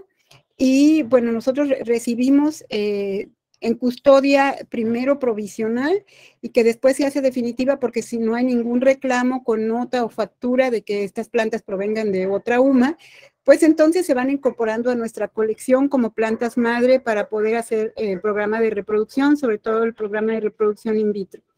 Entonces, es así como hemos recibido, eh, pues es lamentable porque no es un programa preventivo, sino un programa eh, remedial, pero eh, pues nos da gusto colaborar con toda esta cadena de conservación en las que nos sentimos pues bastante este, responsables de poder ayudar con la Profepa para que estas plantas pues tengan una continuidad, un, este, un resguardo y una propuesta de propagación. La que sí. Y bueno, dentro de estas especies que hemos recibido, pues eh, tienen gran importancia ornamental y hemos pasado a su reproducción in vitro también, entonces muchas veces la planta madre eh, la tenemos en resguardo en el vivero y de ahí las semillas que se están obteniendo pues eh, han servido para programas de reproducción bajo el esquema de tesis o, artículos de, de investigación. ¿La que sí? Y bueno, esta es la vinculación con Sembrando Vida. Los técnicos han estado ya como dos o tres veces y en coordinación con el CONACID regional, eh, que están muy interesados sobre todo en incorporar el cultivo de la vainilla en el esquema de Sembrando Vida también. Y bueno, hemos tenido vinculación con varias unidades para la conservación de la vida silvestre, eh, como esta que estamos aquí este, mostrando, la UMA El Farolito, que es una UMA que está entre los límites de Veracruz y Puebla, en alta montaña, con una persona que resguarda por muchos años y ya a nivel familiar orquídeas de muchísima importancia ornamental y la resguarda ya bajo su, sistema de, de aprovechamiento sustentable. La que sigue. Otra de las UMAS con las que tenemos vinculación es la UMA La Elia de Chavarrillo, eh, que mm, la maneja una egresada eh, orgullosamente de nuestra maestría y que se dedica a la preservación de esta especie, eh, siendo que esta zona tiene una, este, una importancia muy grande ornamentalmente. La que sí.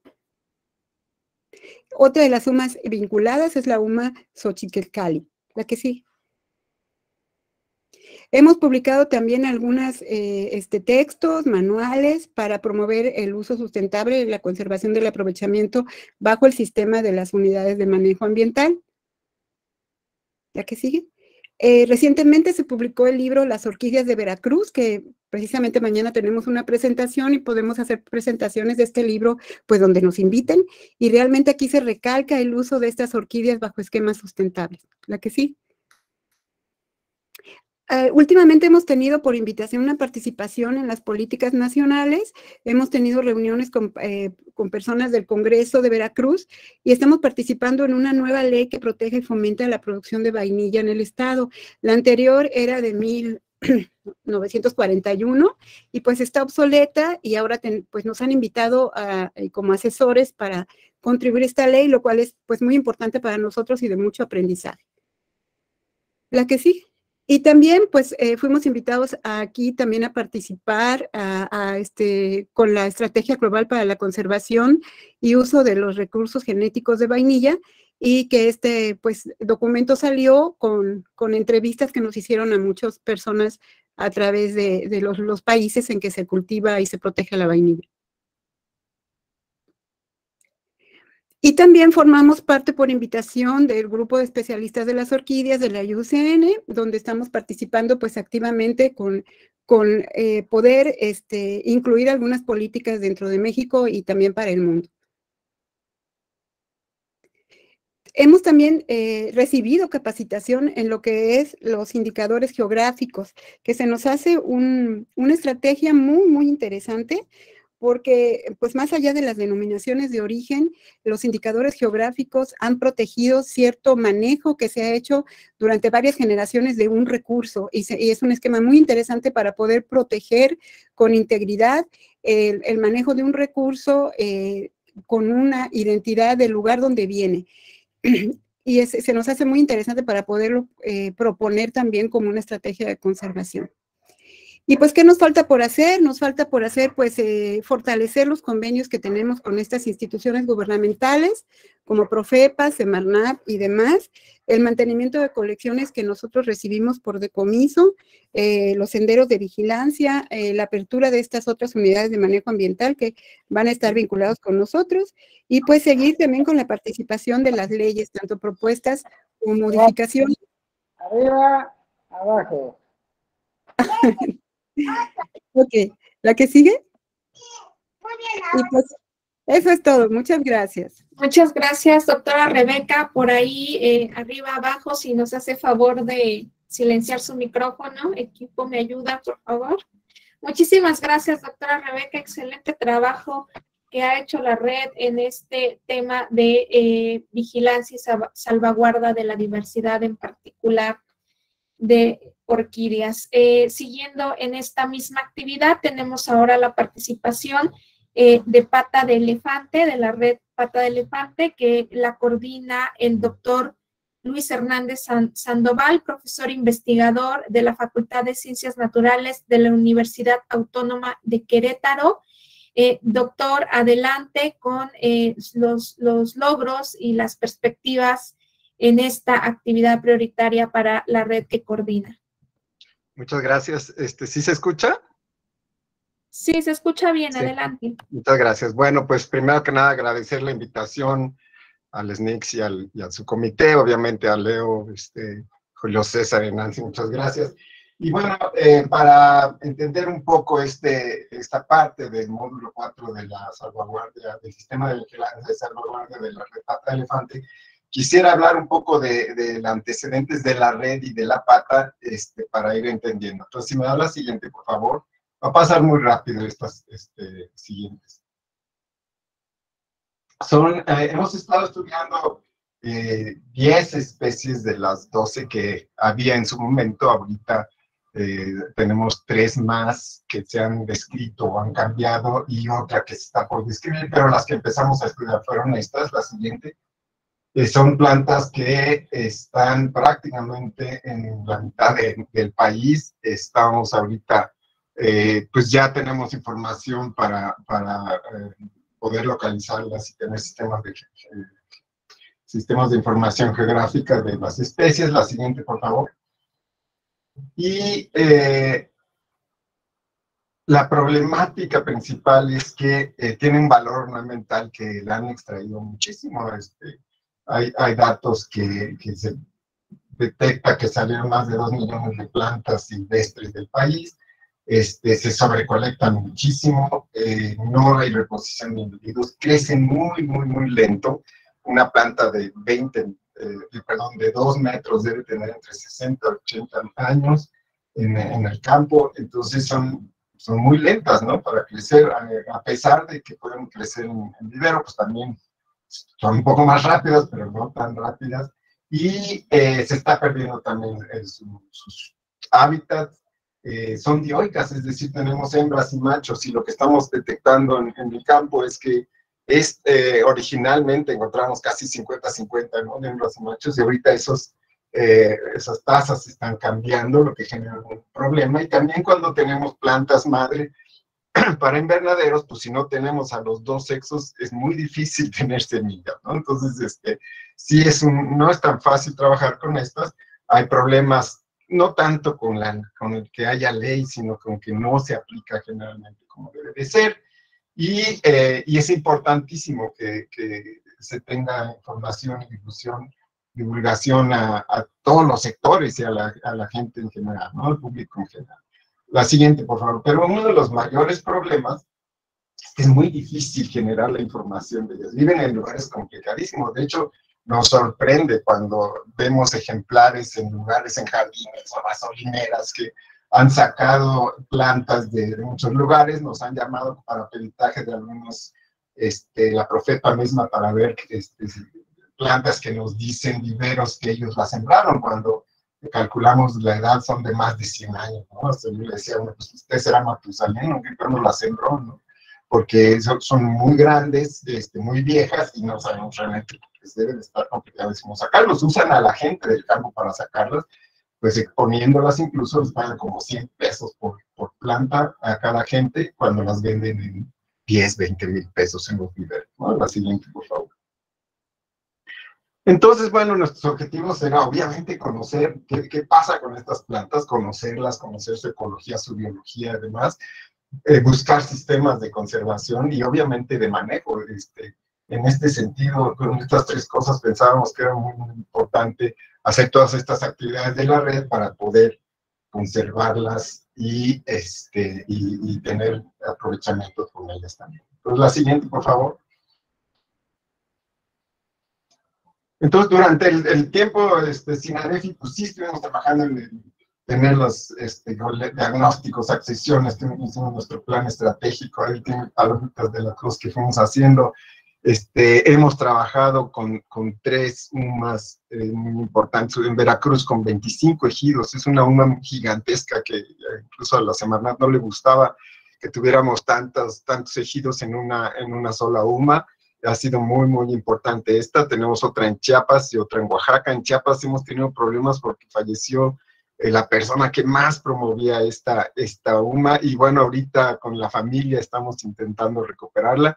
Hay otra eh, propuesta para Campeche y, bueno, estamos este, con la idea de que lo más importante es trabajar junto con los productores. Y, este, y sin embargo, bueno, hemos seguido eh, trabajando en publicaciones científicas, de divulgación, en presentaciones, hemos organizado cursos de capacitación, etcétera. La siguiente, por favor. Y bueno, tenemos nuestro cuadro ahí de las cosas que conocemos de cada, de cada especie, ¿no? De este, crecimiento de plantas, germinación, etcétera, ¿no? De cada una, pues en algunas conocemos más, en otras menos, ¿no? Pero eso es un poco el diagnóstico. La siguiente, por favor. Entonces, bueno, ¿qué hemos estado haciendo? Sobre todo ahora que no, que no hubo muchos recursos, pues no nos hemos detenido. Hemos estado capacitando estudiantes, este, se han generado y están generando varias tesis y proyectos de estudiantes. La siguiente, este, muchos, muchos dirigidos precisamente a la conservación y al manejo de las, de las plantas, ¿no? Este riesgo de extinción en estas, este, en algunos como qué está pasando con su fisiología para, para poder eh, reproducirlas mejor, incluyendo eh, en algunas las hemos metido a cámaras de, dióxido de carbono para ver con el cambio climático qué les pasa a las patas de elefante, etcétera. La siguiente, por favor.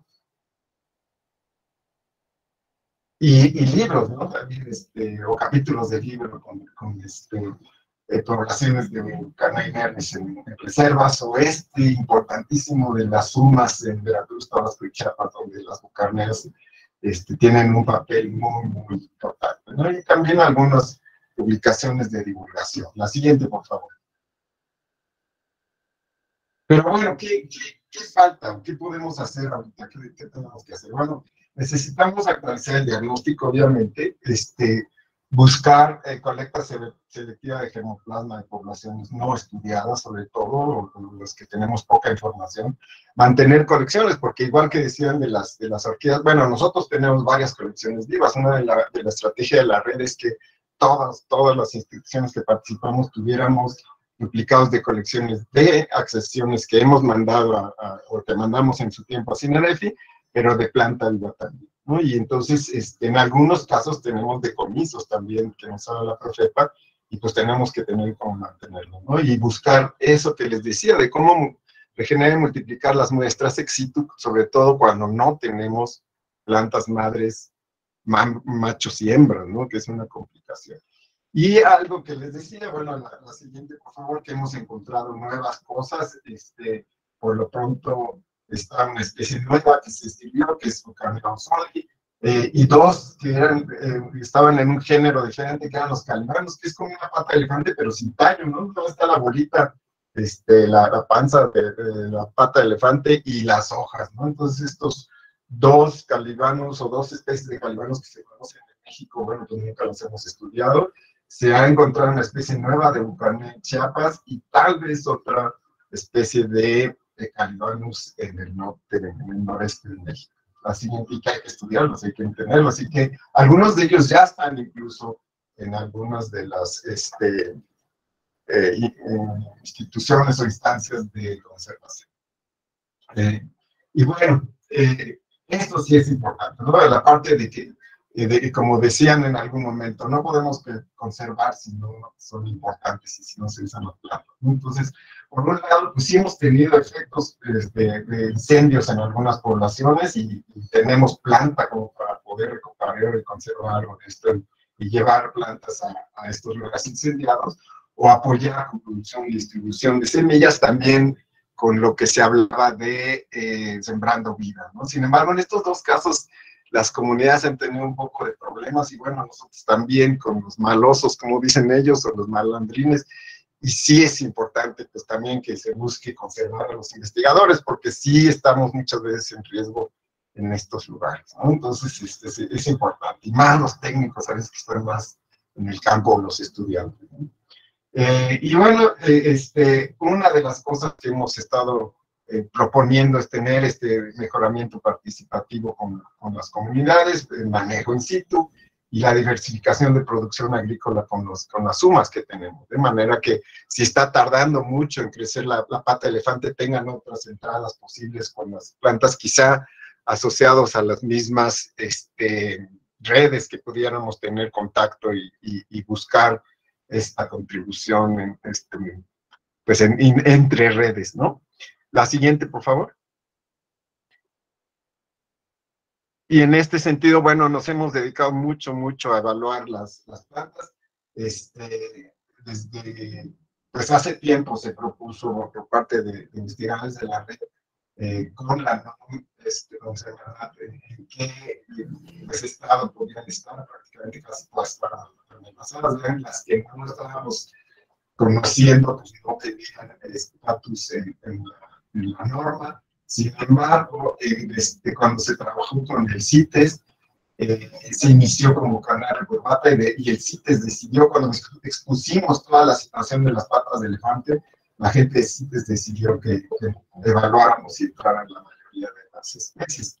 La, otras tres, la, otra vez, perdón, la glaciana. La, Doctor, Perdón que lo interrumpa, creo que cuando se pega demasiado el micrófono se le entiende menos, entonces si lo bajo un poquito ah. y si me hace favor Ok, de a ver ahí. Sí, ahí mejor y si me hace favor de ir Ahí está bien. Okay. Sí. Ok, Nancy, gracias, perdón.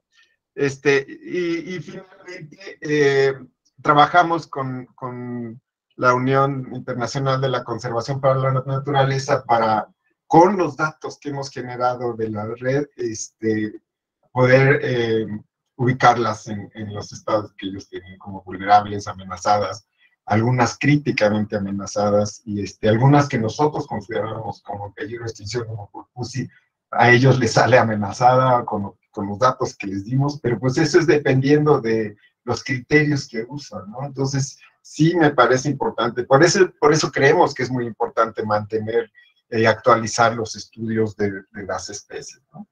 Y este, las, este, necesitamos entonces sí, este sistema de vigilancia y salvaguardia, pero sobre todo la divulgación y, y la, uh, el convencimiento de la gente de campo y los productores de que es importante trabajar con ellas y tener estrategias, ¿no? Porque para ellos a lo mejor que les paguen 100 pesos para sacar una pata de elefante o vender una pata de elefante en 20, 30 pesos una chiquita, este, pues para ellos es una ganancia, sin embargo yo les digo, bueno, si ves en los invernaderos que le están vendiendo en 10 mil pesos o yo las he visto en Japón en, no sé, 300 dólares y cosas así, con la equivalencia, pues este, es, una, es una especie de, explotación a nuestra gente. Entonces tenemos que, que trabajar mucho más en este sentido. La siguiente, por favor. ya para terminar, es la última, si me pasa, este, entonces, bueno, este es lo que estaba yo diciendo este, que queremos hacer, la siguiente. Este sistema de, vigilancia implica un trabajo de, este, pues caro, quizá con, informáticos, de, tener un sitio electrónico en la red interactivo en tiempo real, que esté asociado a la Profepa, a Senacica y a Protección Civil, para detectar pues cosas que les estén pasando a, las carneas, a las patas de elefante o a la zona donde están, ¿no? Si hay deslaves, si hay incendios, si detectaron extracciones ilegales, si hay plagas, etcétera, y, este, y tomar acciones para eh, este, detener, prever, etcétera, sobre eso. Entonces, sí necesitamos en algunos casos, bueno, la, la, base de datos prácticamente la tenemos. En algunos casos queremos tener estrategias de incrustar GPS, los chips famosos en las plantas, y, y por, con esos este, tener rastrearlos, pero sobre todo concientizar a los propietarios de los hábitats de, de, las especies, a los dueños de los terrenos y de las plantas. La siguiente, por favor. Este, creo que con eso terminaría yo. Aquí está pues la, la red como estamos ahorita este, y agradecer mucho de nuevo tanto a los participantes de la red como a ustedes. Muchas gracias. Muchísimas gracias, eh, doctor Luis. Una disculpa por carrerearlo, pero vamos sobre el tiempo. Muy importante su ponencia. Y eh, pasamos ahora a la siguiente exposición, que es la a, a cargo del doctor Jorge Cadena, nuevamente de la red Chayote. Y él nos va a hablar ahora logros y oportunidades en esta misma actividad de sistemas de vigilancia y salvaguarda. Doctor, adelante. Adelante, por favor, la que sigue. La Estrategia Nacional sobre Biodiversidad de México nos dice que tiene una misión, una visión al 2030 y 14 principios rectores. El plan de acción está integrado por seis ejes estratégicos, 24 líneas de acción y 160 acciones. Es un mundo de cosas. Su estructura son ejes de conocimiento, educación, comunicación, cultura ambiental, conservación, restauración, uso y manejo sustentable. Y bueno, ustedes pueden ver aquí toda una gama, pero además dice este, impactar de manera positiva la biodiversidad y disminuir las causas directas de su pérdida, que es uno de los objetivos de, esta, de este trabajo. Adelante. Y bueno, la Agenda 2030 en el 2.1, conservación in situ, siendo coherente con la presentación anterior, nos dice que su meta 13 es incremento en la conservación in situ de la diversidad genética de los principales, este, no, no veo aquí hay una cosa que, eh, principales variedades de cultivo. Entonces, la, como ven, eh, tenemos un paraguas una sombrilla, una base metodológica importante e interesante. Adelante. Eh, regresando a lo de los ejidos y comunidades agrarias, y yo insisto muchísimo en ello porque ahí es donde nosotros estamos yendo en casi cualquiera de las redes a trabajar, a interactuar, a intervenir, a formar parte en estos aspectos y porque de allí tomamos con o sin su consentimiento eh, hoy día ya prácticamente y afortunadamente es con su consentimiento, a este, genotipos para formar los bancos. Adelante. Y bueno, aquí tenemos que la participación de los actores rurales en ese medio país, superficie del país, eh, sobre la conservación de la agrobiodiversidad no ha sido reconocida del todo y quizás por ello eh, se están volviendo renuentes y difíciles en muchas áreas, este, y se está negando el acceso. Mediante un sistema de vigilancia por procedencia de los recursos genéticos agrícolas, podríamos identificar y promover el papel que ellos han guardado en la conservación in situ y ex situ, el aporte a bancos de germoplasma, el conocimiento tradicional asociado a un recurso genético, soberanía alimentaria y desde luego podríamos diseñar estrategias conjuntas para evitar la pérdida y la erosión. Adelante. Nosotros hicimos un estudio eh, para diseñar una, puede, podríamos diseñar varias, ¿no? En conjunto, pero este en particular es una estrategia para la conservación in situ de la biodiversidad agrícola. Nuevamente, abordamos los territorios por vocación este, agroclimática o vegetación, eh, localizamos los agroecosistemas locales, uno ojalá, y llegamos a un proceso de sensibilización, acercamiento, sensibilización y operación de áreas de restricción comunitarias. Logramos solamente hacerlo una sola vez. Ahora al final les diré qué estamos haciendo. Y podemos tener cuantas áreas de restricción comunitarias tengamos. Y me voy a esta parte inferior de la lámina. ¿Qué es un área de restricción? Pues es una superficie que la comunidad, la comunidad local decide resguardar de actividades y aprovechamientos que concentra y resguarda gradualmente variantes biológicas agrícolas distinguidas o no distinguidas. Adelante. A cambio tenemos que hacer algo, no solamente podemos llegar allí y el día viernes y regresarnos el domingo. ¿Qué acciones debemos hacer? Podríamos tener la distinción de las variantes biológicas, los parientes silvestres, las toleradas, fomentadas, domesticadas y las cultivadas. Podemos implementar la participación de las instituciones de educación superior y de las redes participantes eh, para poder hacer el registro legal de, en el Catálogo Nacional de Variedades Vegetales, caracterizar, hacer la ficha técnica y el registro legal. Podemos hacer orientación bioprospectiva involucrando a nuestros estudiantes. Nosotros lo estamos haciendo. Hacemos investigación participativa y como les decía en la anterior, determinamos, identificamos valores actuales y determinamos potenciales. Esto nos llevaría a un sistema de gestión del conocimiento y hemos formado ya en tres ocasiones eh, con Totonacos y con este, Mayo, Ceris, Guarijíos, Quicapús en Sonora, este, diplomados de gestores locales bilingües, porque ellos son los, van a ser los principales aliados para que esas áreas de restricción comunitaria sean exitosas. Generamos bases de datos comunitarios, pero también podemos tener ya de forma aceptada por la comunidad la salida a modelos ex situ, banco de semillas, herbario, vivero, jardín, Bangermex, y puede haber eh, ser locales, comunitarios o institucionales. Los institucionales, pues son básicamente los, los, de, los que resguardamos adelante las instituciones. Entonces, para que esto sea exitoso, lo hemos evaluado varias veces, tenemos que aplicar nuevamente este modelo de intervención social hay que acercarse, sensibilizar, tener acuerdos con la autoridad local, formar este diplomado de gestores locales bilingües que nos lleva 90 días, no más.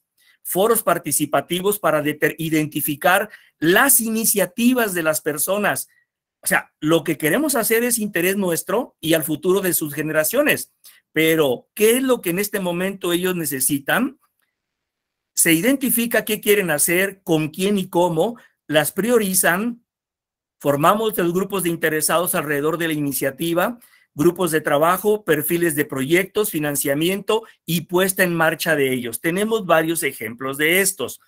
No hemos concretado estructuralmente todo porque lamentablemente siempre nos hacen falta tres pesos. Adelante. En nuestro caso, estas, este, el inventario y promoción de especies subutilizadas. Nosotros trabajamos en este momento con cuatro, este, con cuatro silvestres, Edule, Compositum, Chinantlense y Gintoni del género Sequium. Y están en áreas, en áreas de dominio común, en áreas ejidales. Y tenemos que trabajar con la gente para que no los eliminen para que no los eh, dicen, es que esto no se come, esto lo come el ratón, lo come el armadillo, pero nosotros no, ni para medicina sirve. Entonces, lo eliminan. Nosotros tenemos que alcanzar ese nivel de acercamiento, sensibilización para poder establecer otras cosas. Adelante. Y bueno, esto aquí se puede reflejar, por ejemplo, eh, para, es, para tres de las cuatro especies, el estado, el municipio, la localidad, los sitios localizados y el nivel de fragilidad, alta, media, baja o muy alta. Y créanme, ahorita ya, si tuviéramos que actualizar este registro para el siguiente mes, es muy probable, muy, muy probable que no tuviéramos algunos de estos, que ya no existan. Adelante. Entonces, nuestro sistema tiene que basarse precisamente en que eh, es un tema que debe ser proyectado a través de acciones conciliadas con los habitantes de comunidades rurales que deriven en promover su propio desarrollo local. Varios desarrollos locales generan un desarrollo territorial. El modelo de agroecosistema local es un formato adaptable a diferentes condiciones que pueden generar beneficios de corto, mediano y largo plazo y desde luego para la conservación in situ, pero también para los habitantes rurales, los hombres, mujeres, niños, jóvenes, adultos rurales. El modelo de intervención social favorece el desarrollo local, la bioprospección de recursos endógenos o locales que queremos conservar, queremos caracterizar y queremos proteger y queremos hacer muchas cosas y sobre todo los jóvenes de las localidades, porque el relevo generacional es importantísimo, porque la, se están eh, tenemos un avejentamiento por edad en, en todo mes y medio superficie de México. Adelante. Antes de decir gracias, les diré, me sobra todavía un minuto, dos, eh, les diré que la flora endémica de Sonora, parte del trabajo que estábamos haciendo, eh, está, está sobreexplotada. Y ayer que se hablaba la red Jojoba, pude intervenir, pero mejor lo digo ahora es una de las especies que están siendo fuertemente sobrepastoreadas por ungulados eh, silvestres y ungulados domésticos. Y nosotros hemos eh, llevado este modelo de conservación in situ para proteger no solamente a jojoba, sino a, a muchas este, ya identificadas familias botánicas, géneros, especies y formas botánicas por mayor frecuencia de consumo de estas especies de ungulados. A lo que voy, aun cuando no es chayote en Sonora, la metodología de conservación in situ como un mm, sistema de vigilancia nos puede ayudar de forma transversal en muchas otras especies, cultivos y redes. Muchas gracias. Muchísimas gracias, eh, doctor Cadena. Justo 10 minutos. Agradecemos. Sí, gracias. agradecemos su, ponencia. Eh, con esto cerramos la sección de sistemas de vigilancia y salvaguarda de la diversidad, en lo que Julio pone la siguiente ponencia. Eh, eh, estas estas eh, ponencias que vienen a continuación es en atención a la actividad prioritaria número 17, que es creación y fortalecimiento de la capacidad en materia de recursos humanos. aquí lo vamos a hacer por macro red nos va a exponer primero el doctor Eduardo, perdón, el doctor Eduardo Espitia Rangel, coordinador de la macrored básicos e industriales. Y sin más preámbulo, doctor Eduardo, adelante con su exposición en logros y perspectivas para esta actividad. Muchas gracias, buenas tardes. Eh, voy a tratar de ceñirme solamente al tema y voy a tratar de resistir la tentación de tocar otros temas para este, mejorar la, presentación, como lo hicieron varios de mis compañeros. En, esta foto estábamos este, en un taller de capacitación a productores, bueno, en este caso fue principalmente a productoras, al que este, después del taller llegó el subsecretario con otros funcionarios el día de antier y degustaron todos los platillos en base a amaranto que, que se hicieron ese día. Entonces, este, no solamente podemos incidir en, formar estudiantes o formar investigadores jóvenes, sino pues creo que una, parte importante es también formar a los tomadores de decisiones, que muchas veces son los que limitan el desarrollo de, de, de las redes en este caso. La siguiente, por favor, este, Nancy. Este, ¿A qué se refiere eh, la creación y fortalecimiento de la capacidad en materia de recursos humanos? Es básicamente eh, fortalecer la capacidad nacional de conservar y utilizar los recursos genéticos en áreas clave, incluyendo aspectos de gestión, jurídicos, políticos y frenar la pérdida del personal, sobre todo capacitado de los países en desarrollo. a quién, según el, segundo plan de acción, debemos este, tratar de incidir en la educación desde jóvenes, de niños de primaria, secundaria educación superior, para que desde ese, de ese nivel empecemos a, a fomentar la conservación y uso de los recursos genéticos. Y no solamente ya en etapas finales formando investigadores, técnicos, productores y también señala el, segundo plan de acción este, a las mujeres rurales, que es un, aspecto muy importante ya que ellas juegan un papel fundamental en la conservación y recursos genéticos, especialmente en los huertos familiares. Casi ellas son las que se encargan en su totalidad del, establecimiento, mantenimiento y desarrollo de estos huertos familiares. Entre paréntesis, ahora en el programa de producción para el bienestar le están pidiendo a cada técnico, me parece algo así como 50 huertos familiares, donde van a este, incluir varias especies nativas. La siguiente.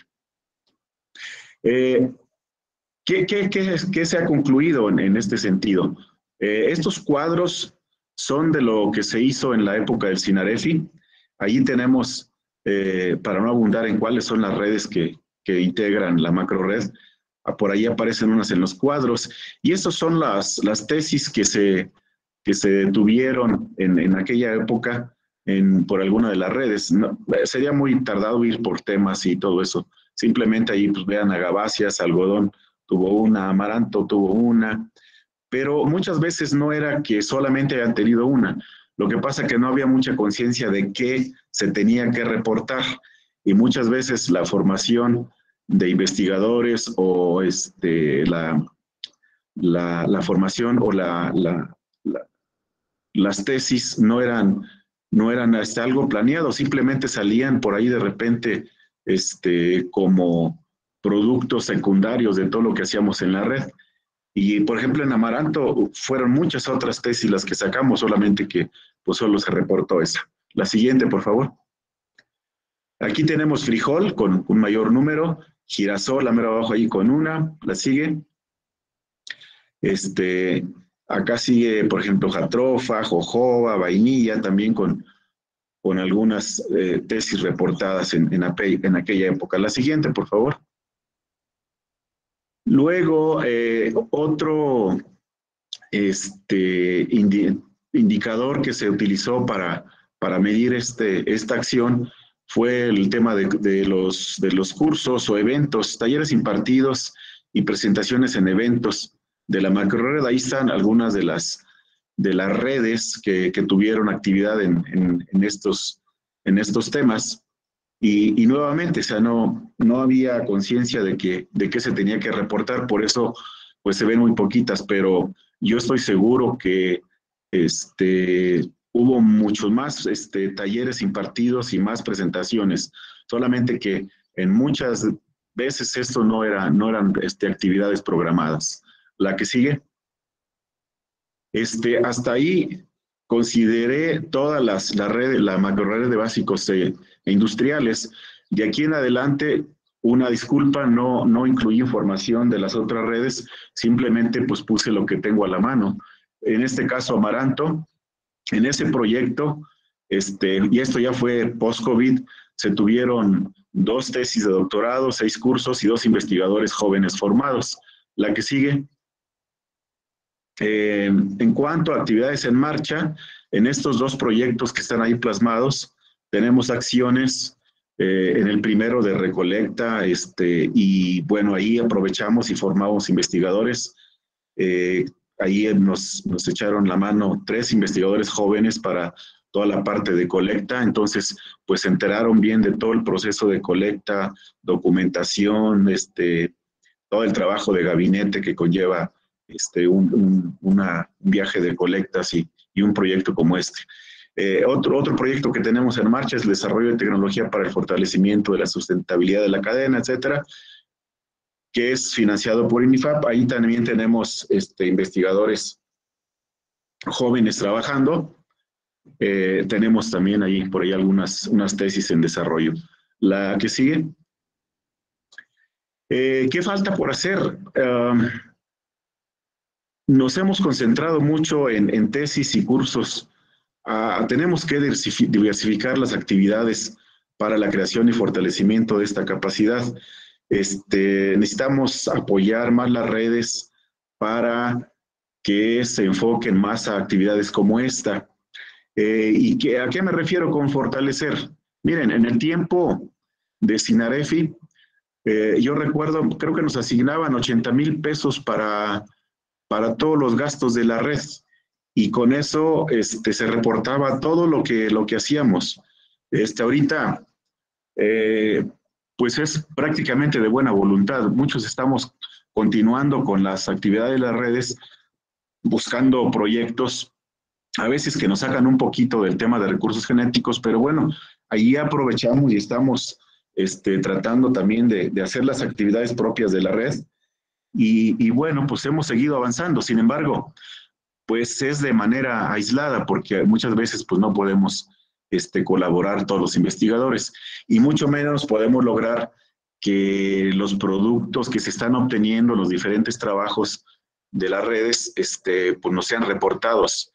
Eh, yo creo que una manera bien facilita de, de, reactivar todo esto sería que se asignara una pequeña cantidad a cada red y con eso nos obligarían prácticamente a, a, reportar este, los productos de los, del trabajo que estamos haciendo, aunque sea con apoyo de, de otras fuentes de financiamiento. La que sigue.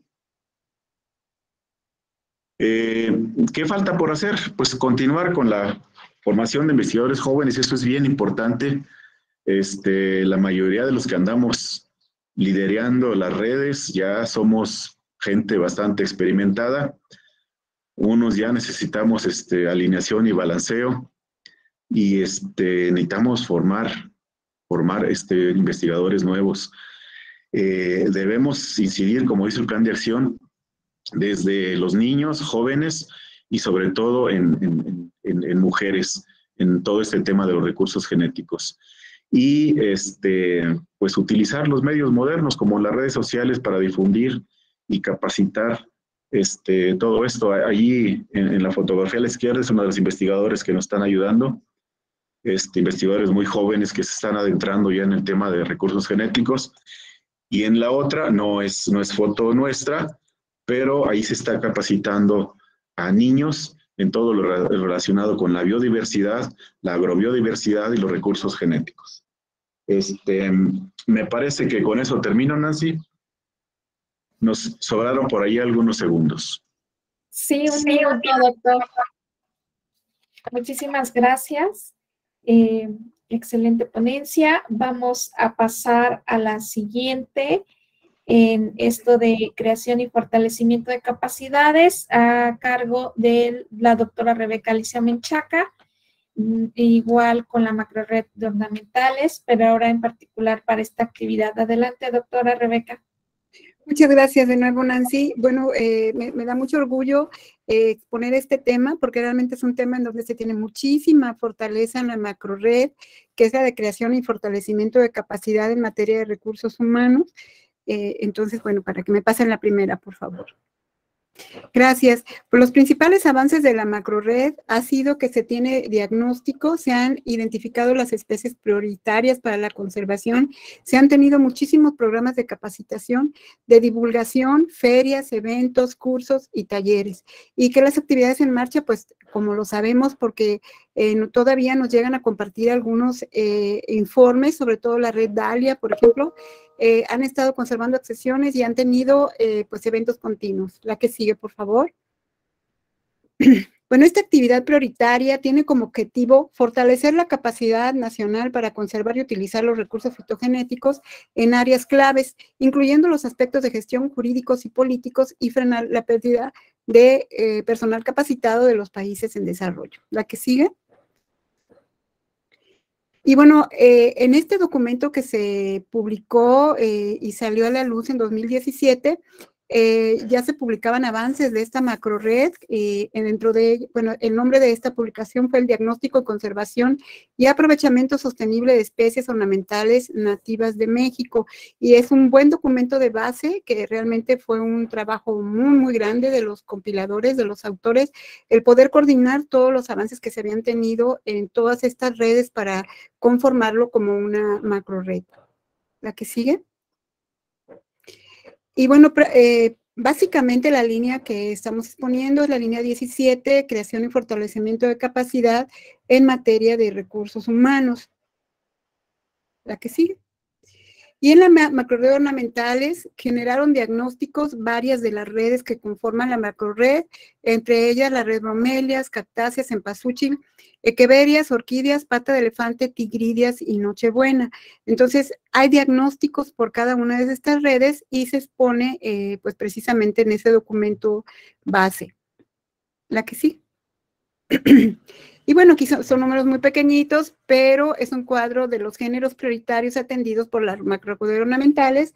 Como decíamos, se parte de un diagnóstico y en el caso de algunas redes que realmente conforman muchísimas especies, como, bueno, la red de orquídeas, que son más de 1.400, 1.500 especies a nivel nacional, pues se, hizo una selección de los géneros que tenían características ornamentales sobresalientes y que además como siempre pasa, eh, coincide que además están amenazados en alguna categoría de riesgo. Entonces, en esta familia que es la más grande, pues se decidió seleccionar estos géneros, Lelia, Stanhope, Rincostele, Prostequia y Enciclia, y en las otras redes, pues eh, seleccionaron uno de los géneros que era representativo y con características ornamentales importantes. En, en todos los casos fue un solo género. Y se partió entonces de que ya teniendo seleccionado los géneros prioritarios de trabajo, pues se podrían entonces orientar las actividades hacia la conservación y el aprovechamiento sustentable de los mismos. La que sigue. Voy a decir algunos casos, no quiere decir que, sean este, los únicos, realmente la macrored ha trabajado muchísimo y pues me gustaría resaltar eh, el trabajo que ha hecho la red Sempasuchil, que pues nosotros sabemos que es muy, grande y muy, este, y de verdad muy sobresaliente. La red Sempasuchil pues ha tenido trabajos eh, sobre eventos, sobre generación de variedades, generaciones de híbridos y demás, y es una de las redes que trabaja pues muy activamente. ¿La que sigue?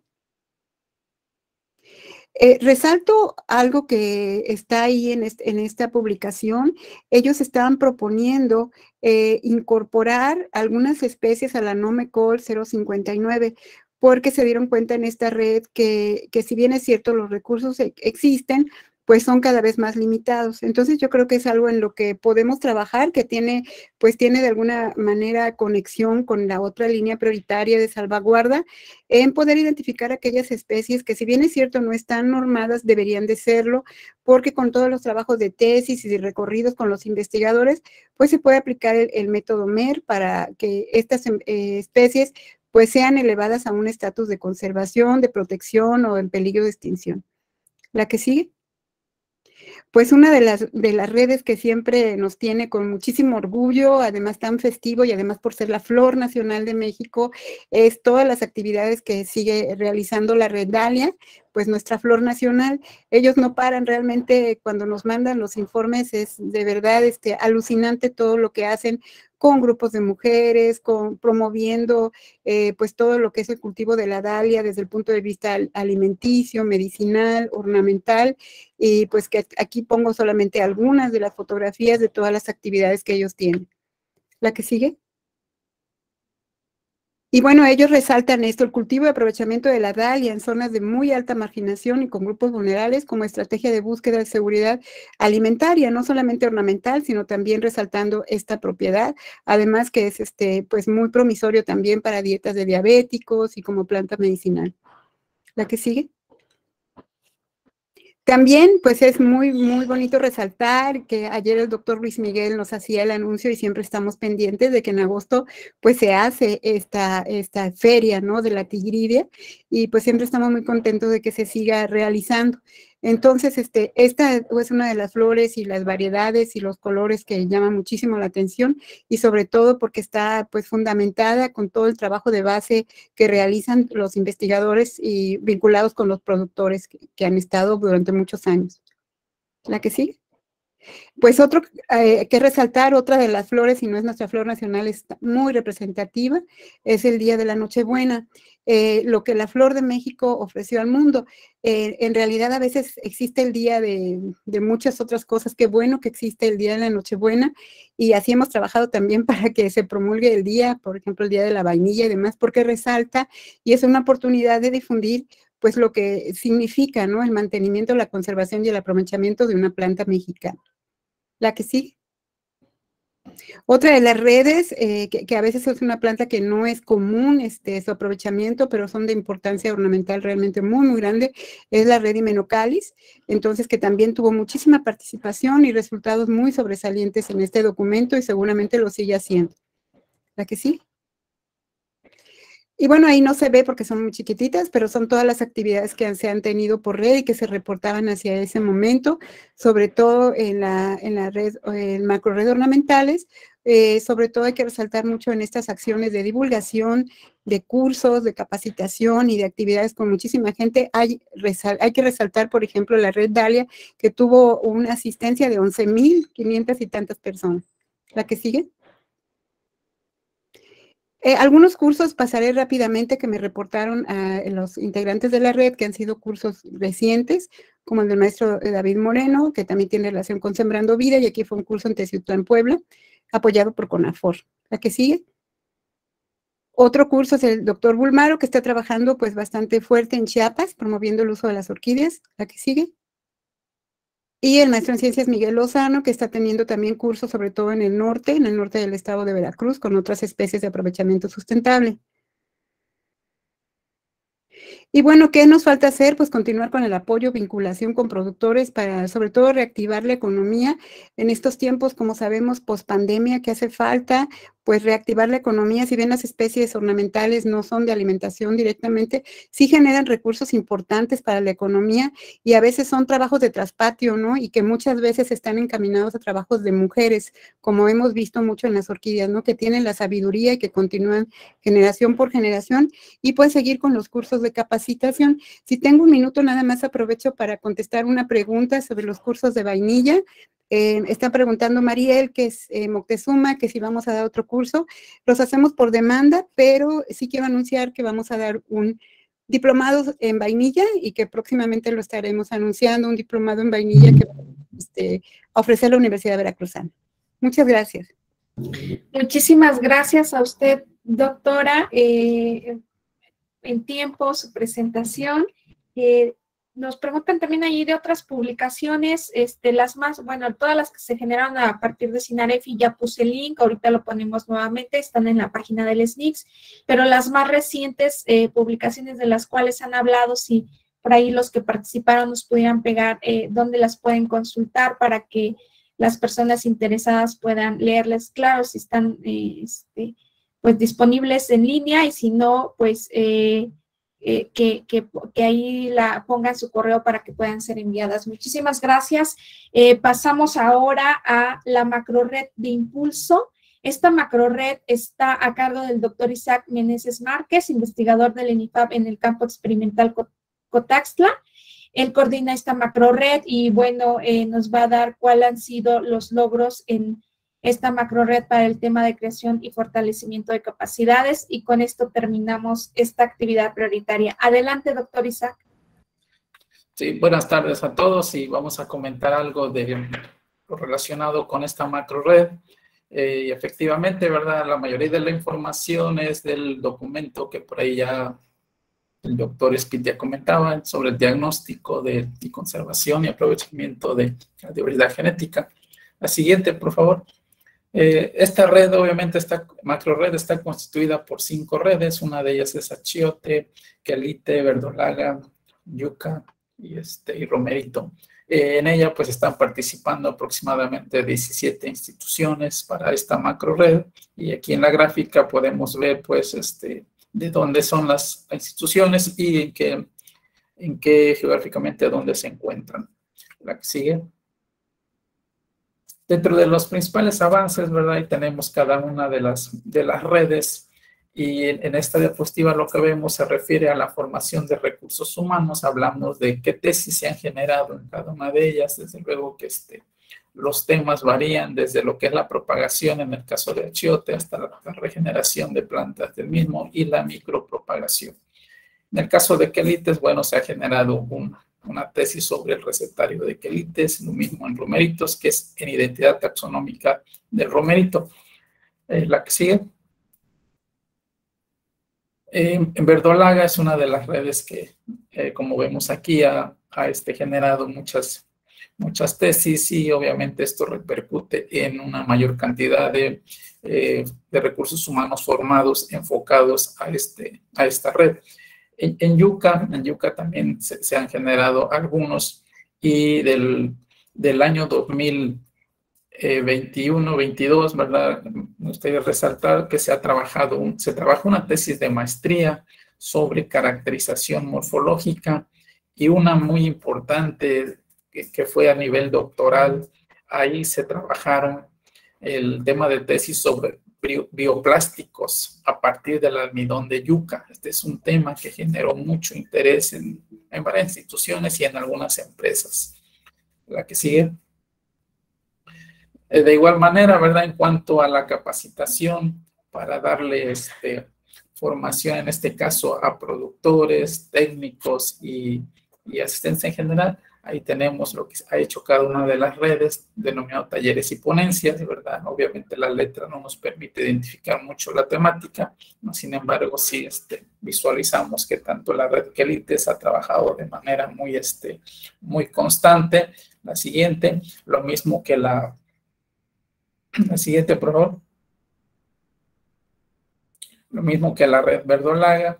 Y obviamente aquí en, en el caso de de, Yuca también, que es el que me ha tocado, la red que me toca coordinar. De igual manera, bueno, hemos trabajado desde lo que es el cultivo, su aprovechamiento y a nivel de la información nutricional saludable para platos alternativos a base de yuca. Esto fue en el estado de Tabasco. Obviamente, ahí es un estado muy, muy este, consumidor de, esta, de esta raíz. Eh, la que sigue.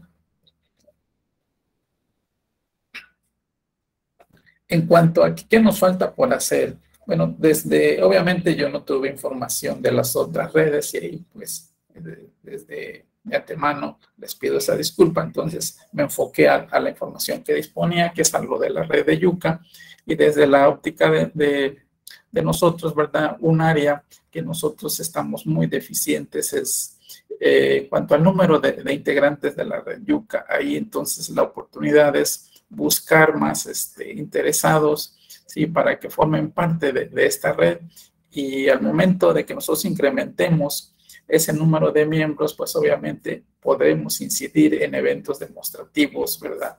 Eh, en este caso, un tema que les decía ha, tenido mucha importancia, ha sido la yuca para eh, forraje. En este caso se han hecho acciones con, con otros programas federales. Y lo mismo, ¿verdad? En cuanto a reunión con empresas interesadas en el cultivo, también se, ha dado ese acercamiento ya durante lo que va de este año con dos empresas mexicanas que están, este, ahorita tienen la meta de establecer 10.000 hectáreas eh, en el sureste mexicano, entonces por ahí el cultivo va, va a detonar. Y también uno de los proyectos prioritarios, como les decía, es el aprovechamiento del almidón para la obtención de bioplásticos. Ya se tienen identificados de todo el pool de, materiales genéticos que se han hecho a través de las colectas, ya se identificaron cuáles por la calidad del almidón, por lo mismo se puede obtener un buen bioplástico, ya se, ya se realizó, esa fue una tesis doctoral, como les decía. La siguiente. Eh, entonces, otra área es la vinculación con las empresas interesadas. Hay empresas que están interesadas en este, hacer aprovechamiento del material vegetal. Entonces ahí también en su oportunidad se va, este, se va a tener que hacer algún convenio, ¿verdad? De tal manera que esto pueda, pueda tener una utilidad y un beneficio tanto para las empresas como para la misma red, ¿verdad? Y una vez hecho esas, esa vinculación con las empresas interesadas, ¿verdad? Lo que ellos están requiriendo en una primera instancia es llevar a cabo el establecimiento de lotes demostrativos para, para productores. ¿Esto con qué fin? Bueno, ellos al tener que, incrementar o disponer de raíz fresca para el objetivo que buscan de aprovechar el almidón y la harina, ellos necesitan tener superficies sembradas, entonces de el interés de poner materiales de los ya del pool de mejores materiales para que los productores vayan conociéndolos y a la par, ¿verdad?, hacer los recorridos técnicos y también eso implicaría pues realizar los cursos de capacitación.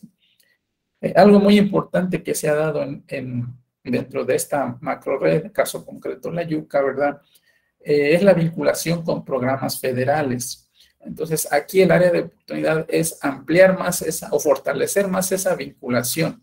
¿Y a qué nos ha llevado con esa vinculación? De entrada, la necesidad que plantearon eh, el personal interesado, en este caso es el acompañamiento técnico eh, que está hoy en día enfocado a bovinos leche. Ahí lo que se busca es subsanar un poco la falta de, pasto en la época de estiaje. Entonces aquí el, el follaje de la yuca representa una buena alternativa y de ahí que se empezó a trabajar esa vinculación y, ya en estos últimos, últimos meses se ha logrado establecer algunos lotes en diferentes puntos de, del sureste, en este caso los estados de Veracruz y Oaxaca. La que sigue. Y ahí decíamos, con la estrategia de acompañamiento técnico enfocado a bovinos leche, ya se hicieron, se establecieron siete parcelas con material vegetal que cuenta la red, en este caso, como les decía, enfocado a la... En una primera etapa, obviamente necesitamos incrementar la disponibilidad de material vegetal de los genotipos y esto, la foto que les presento es lo que actualmente ya se tiene de incremento de material vegetal y a partir de ella empezar con los los trabajos de proveer forraje para ensilar y a su vez, ¿verdad?, para hacer los trabajos de, de los indicadores de, alimentación para el ganado, en este caso, les decía, para el sureste mexicano. Entonces, estos ya son pasos concretos de vinculación que se han venido dando, y obviamente con, con la ventaja de disponer de materiales destinados para ese fin. La que sigue. y además, decíamos, la red ha venido trabajando juntamente con dos empresas que están interesadas en esto. Una es la empresa Fitella, Fitella Capital, ¿sí? en donde la ingeniera Marinor Elena Ortega, que es la gerente de investigación, a, la vez también ha, ha, decidido pues participar como un miembro de la red. Entonces, con esa vinculación también estamos tratando de pues de complementar las áreas que tenemos como debilidades. A veces nos enfocamos más a otras instituciones, pero descuidamos la parte empresarial, que ellos también pueden detonar el potencial de, de estos cultivos que les denominamos impulso, más sin embargo tienen una gran importancia. Simplemente se necesitan aliados y en este caso en concreto, la red Yuca ya, está trabajando con esta empresa de manera coordinada, con Fitella Capital, asimismo con la empresa que se llama Test Ingredients México, también está interesado y ellos son los que van a aprovechar la, harina o van a obtener harina a partir de la yuca. Entonces, se visualiza un, fuerte vínculo con, el sector empresarial.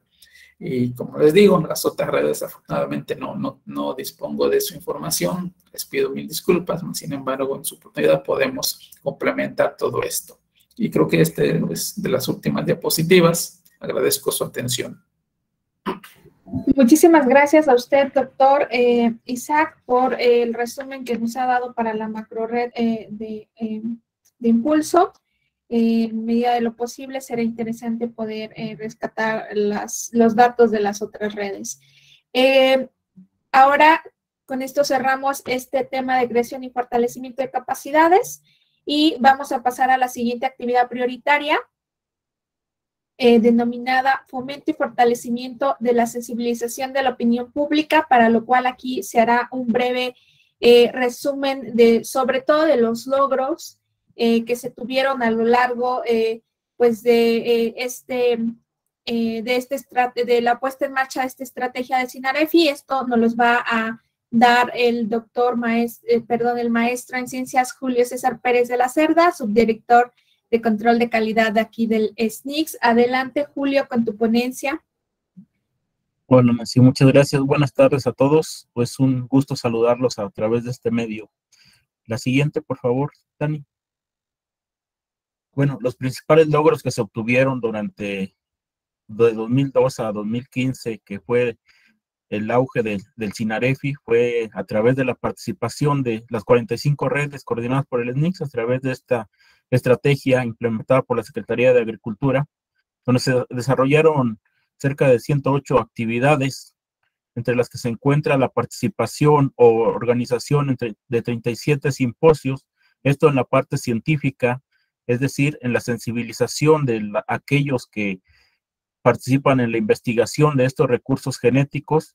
Uno de los temas que se dieron fue el, primer simposio de tomate de cáscara, donde participaron cerca de 230 personas. Otra fue el conocimiento tradicional de las plantas mexicanas, este organizado en la Ciudad de México en el Museo de, Antropología, donde participaron durante los días que se llevó a cabo este evento alrededor de 2.000 personas. También otro de los importantes fue el primer Simposio Nacional de Plantas Ornamentales Nativas Mexicanas, donde participaron cerca de 800 personas. La siguiente, por favor. Otra fue la participación muy importante en cerca de 86 congresos. Esto es englobado en todos los las participaciones que tuvieron los integrantes de las, de las 45 redes que integraron el CINAREPI, que ahora se están retomando. Uno de ellos fue la participación en el segundo Congreso Nacional de Recursos Fitogenéticos y primer Congreso Internacional de Conservación y Aprovechamiento Sustentable de la Agrobiodiversidad. Este se realizó en la Universidad Autónoma Chapingo, en la foto que está ahí, el presidio que se tuvo en ese momento. Y también se participó en el segundo Congreso Internacional y 16 Congreso Nacional de Ciencias Agronómicas, también en, Chapingo, y otro fue en el, la edición 30 del Congreso Nacional y tercera internacional de, de fitogenética. La siguiente, parte importante también de, lo que se realizó en el y si bien es importante concientizar a, los investigadores o aquellos que trabajan o tienen incidencia en, el desarrollo o la utilización de los recursos fitogenéticos, también parte importante es el, interactuar, el, el intercambiar el conocimiento de los saberes entre los poseedores que, que han mantenido los recursos genéticos agrícolas y aquellos que desarrollan o utilizan estos, estos recursos genéticos, así como la opinión pública, y por lo tanto se participaron en nueve ferias de semillas en, en los estados de Oaxaca, Sinaloa, Yucatán, Veracruz, Chiapas y Guerrero. Asimismo, se organizaron, cinco foros de conservación y manejo sustentable de las razas nativas de maíz, donde se estima una participación de alrededor de cinco mil personas. La siguiente, por favor también y como colofón de, de los eventos que se desarrollaron y es donde participaron todos los, los integrantes de las redes y todos aquellos interesados en los recursos fitogenéticos y sobre todo ver que la participación de la, de la opinión pública, aquellos que no están tan involucrados, vean la parte de, de todo lo, lo, que se realiza, la diversidad de los cultivos, las artesanías que se pueden desarrollar con estos, algunos procesos agroindustriales, la preparación de diferentes alimentos de aquellos recursos genéticos que normalmente no se piensa que se pueden utilizar, las muestras gastronómicas de la dalia, de este de jatropa que se dio en ese momento, la incluso cempasúchil, o sea, algunos recursos que normalmente no se piensa que se pueden utilizar en la, alimentación, fue uno de los principales aportes que se dio en la primera feria de la agrodiversidad y agroproductos realizadas el, del 7 al 8 de diciembre, de septiembre, perdón, del 2012, donde participaron las 45 redes y todos los productores involucrados en ese momento. La siguiente, por favor. La siguiente edición, la segunda feria, realizada en 2013, aquí en, realizada en el Parque Bicentenario de la Ciudad de México, también con la misma temática. Aquí participaron los más de 300 productores integrantes de las redes que trajeron sus productos, compartieron sus saberes todo lo que ellos conocen de los recursos genéticos agrícolas de, y también la participación de más de 60 diferentes instancias. Ahí en la foto de abajo podemos ver muchos, bueno, no muchos, algunos de los integrantes de, los, de las redes que aún continúan con nosotros. Entonces, eso es lo importante. Creo que eso ya se hizo en, en el anterior estrategia del sistema. Ahora con el subcomité estoy seguro que al ser los mismos actores con las mismas ganas vamos a, a lograr esto que ya se realizó y vamos a poder superarlo. La siguiente, Dani, por favor.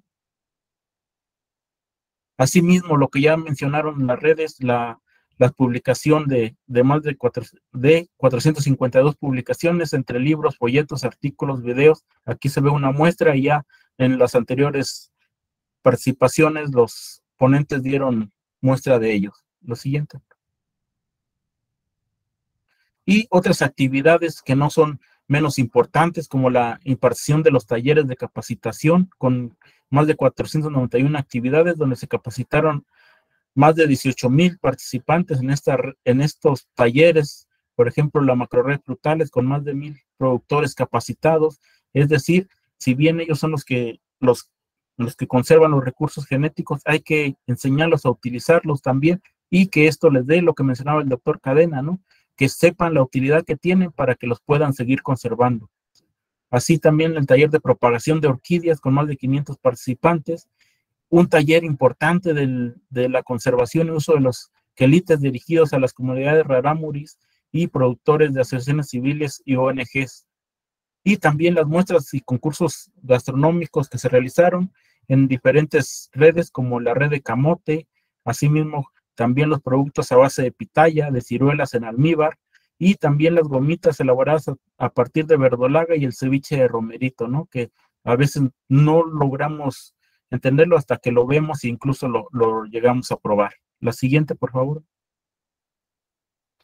Otras actividades, no menos importante, lo que ya hablaba el doctor Carlos Avendaño, la, el relevo generacional que se tiene que venir dando y claro, tenemos que empezar desde desde los niños, ¿no? En las escuelas primarias, las escuelas secundarias, donde a través de juegos didácticos podemos realizar y llevar a cabo esta actividad. La siguiente, por favor.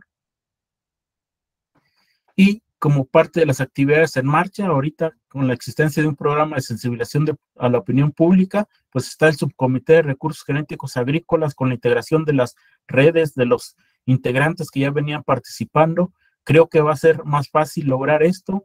Sin embargo, como ya lo mencionó el doctor Lovigildo, ante la falta de recursos, tenemos que buscar estrategias de cómo llevar y, y, concretar lo, lo, que todos ustedes han puesto en los planes estratégicos ¿no? de, las, de las redes. El otro indicador también, lo que son los números de grupos interesados. Ahorita yo creo que ya se hizo en, en el pasado, ahorita lo podemos hacer con las mismas redes temáticas que tenemos, los participantes, la inclusión de los nuevos participantes que fue a través de la convocatoria, muchos de ellos que no, no estaban involucrados en las redes y ahorita con estos cursos de, de capacitaciones, taller, yo creo que muchos de los, de los que están participando son interesados que, que podemos sumar a, a, que se, a que hagan estas actividades, ¿no? Y así como generar el impacto con actividades realizadas por cada una de las redes, como ya lo han venido mencionando, si bien no se ha avanzado en, los pasos que veníamos avanzando, sí se ha avanzado poco a poco y no se ha dejado de trabajar. La siguiente, por favor.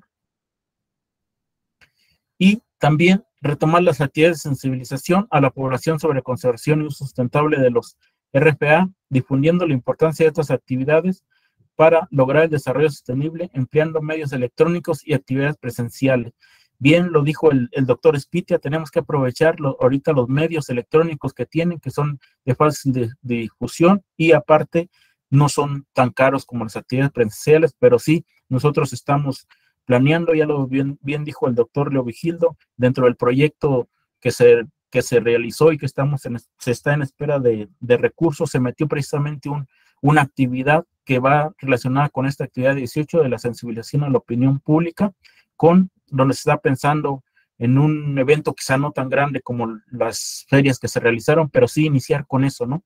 Para volver a, tener más, más, más gente y, más sensibilización a, esta, a este público, ¿no? Las áreas de oportunidad emplear los medios digitales y otras establecer alianzas con instituciones de educación. La siguiente, Dani. Creo que ya es la última. Muchas gracias y disculpen la rapidez, pero tenemos que terminar porque nos sacan aquí con, con la fumigación. Gracias.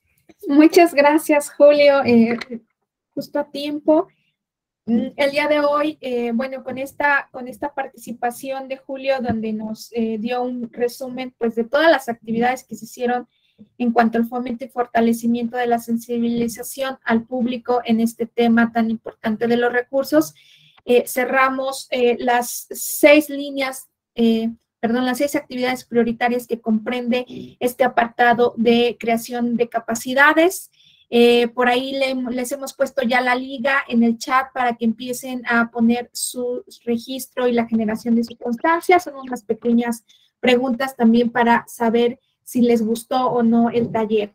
Eh, el día de hoy solo nos, pasamos con 20 minutos a las ponencias. Eh, nos dejó ya prácticamente sin tiempo para preguntas y comentarios. Muchas de estas ya fueron eh, atendidas a través del chat. Hay algunas muy particulares que no se alcanzaron a contestar, como lo que tiene que ver con eh, cuestiones fitosanitarias y problemas ahí con, bueno, con el pata de elefante y mm, algunas otras que, son eh, muy específicas para los demás ponentes. Esas las vamos a dirigir a, cada uno de los, de los ponentes, de los coordinadores, para que puedan eh, en la medida de lo posible ser eh, contestadas. Eh, por el del resto, el día de hoy no tuvimos muchas preguntas. únicamente un, voy a resaltar dos para que nos ayuden a cerrar este taller. Una que pregunta Lilian Rivera si los sistemas productos actuales se integrarán a estas nuevas redes o bien estas nuevas redes se integrarán a los sistemas producto actuales. Creo que este tema este, puede ser importante eh, eh, de manera general. Eh, le pido al doctor Leo Vigildo si da respuesta rápida a esta pregunta, porque sirve de contexto, y de ahí pasaríamos a la otra pregunta que nos va a dar ya la oportunidad de poder ir cerrando este, este taller. Adelante, doctor Leo Vigildo, si contesta lo de los sistemas producto. Eh, sí, como no, lo que se estaría buscando, lo que estamos buscando ahorita es eh, cómo sumar con los sistemas producto. No es que los sistemas producto vayan a ser parte de estas redes, sino más bien la red cómo eh, coadyuva algunas de las actividades de los sistemas producto.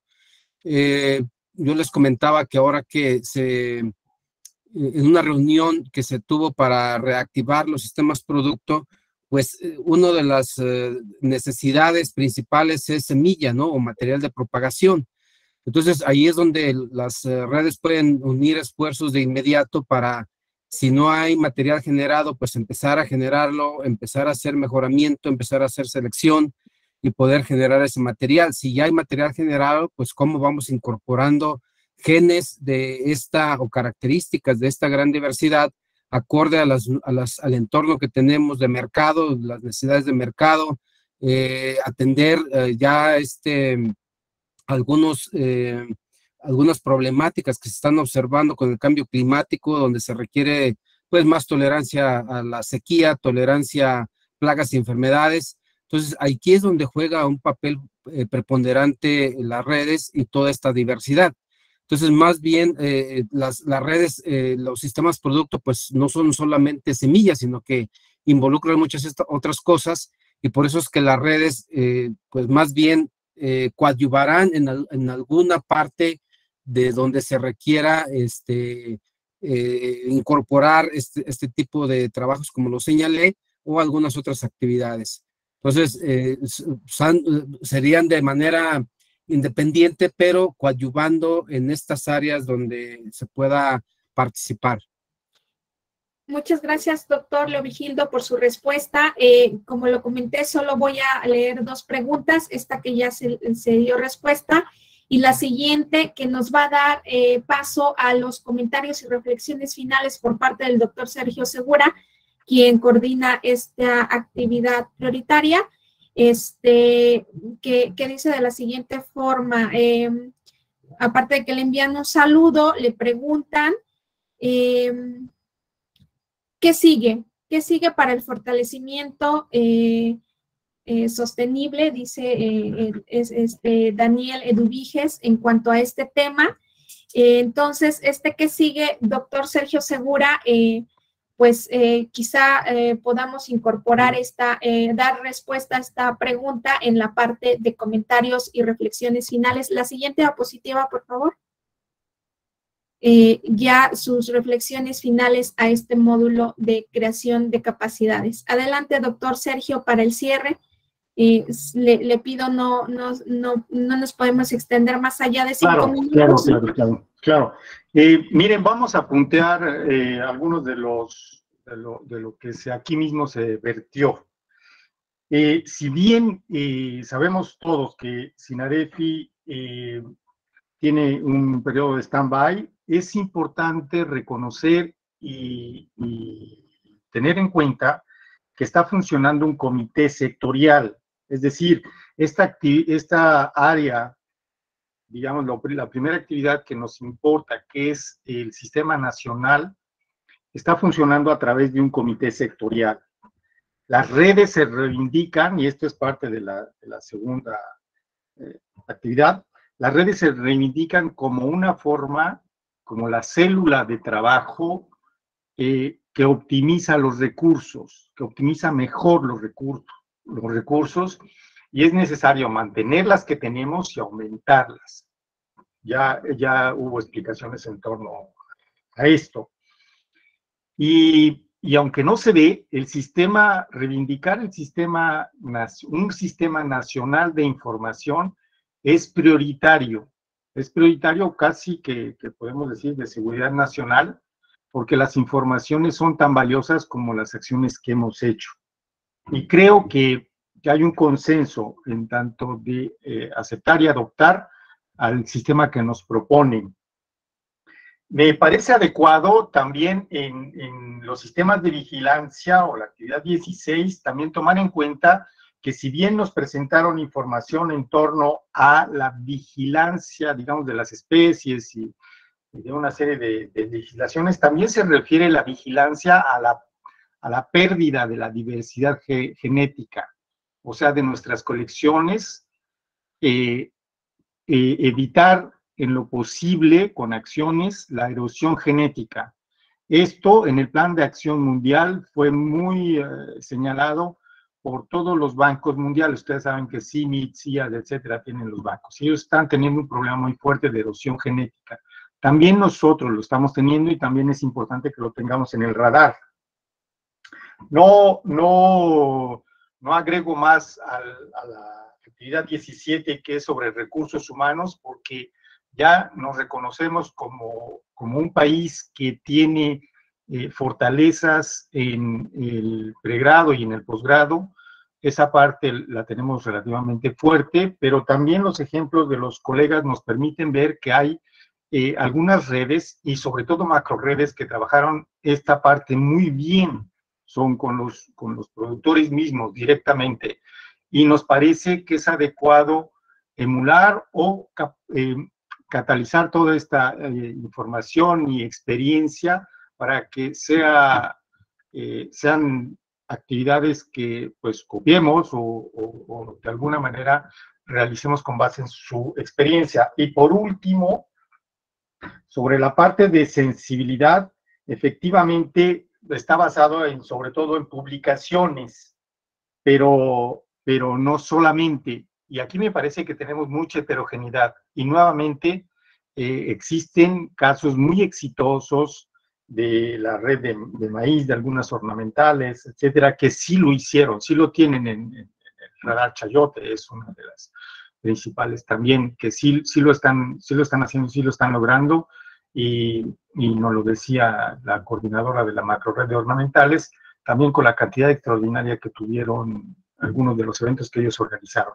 Entonces, me parece que, que es necesario hacer un recuento de los éxitos que se han tenido, para poder aprender también de nosotros mismos y me parece que si bien la parte administrativa ya nos lo explicaron bien, está, está haciéndose lo necesario, no, no estamos eh, dormidos, hay un comité y, y debemos de atender.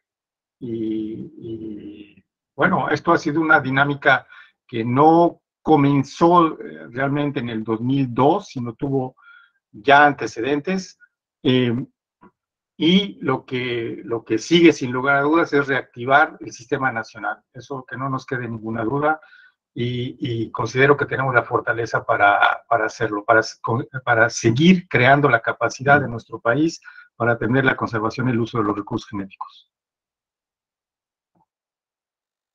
Muchísimas gracias, doctor Sergio, por estas reflexiones finales en, en cuanto a, este, a esta área de creación de capacidades. Y ahora, pues bien, eh, no me resta más que agradecerle a todos su participación, eh, que nos pudieran aguantar eh, tantas horas, un poquito ahí con el desfase del tiempo.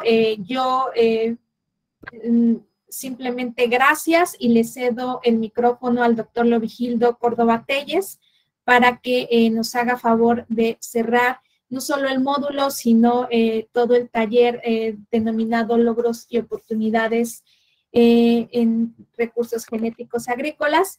Y sin duda va a haber más talleres, vamos a continuar trabajando, primero retomando todo lo que ya está, pero también hay muchas actividades que se vienen y que ojalá las podamos ir concretando. Adelante, doctor Levigildo, y buena tarde a todos.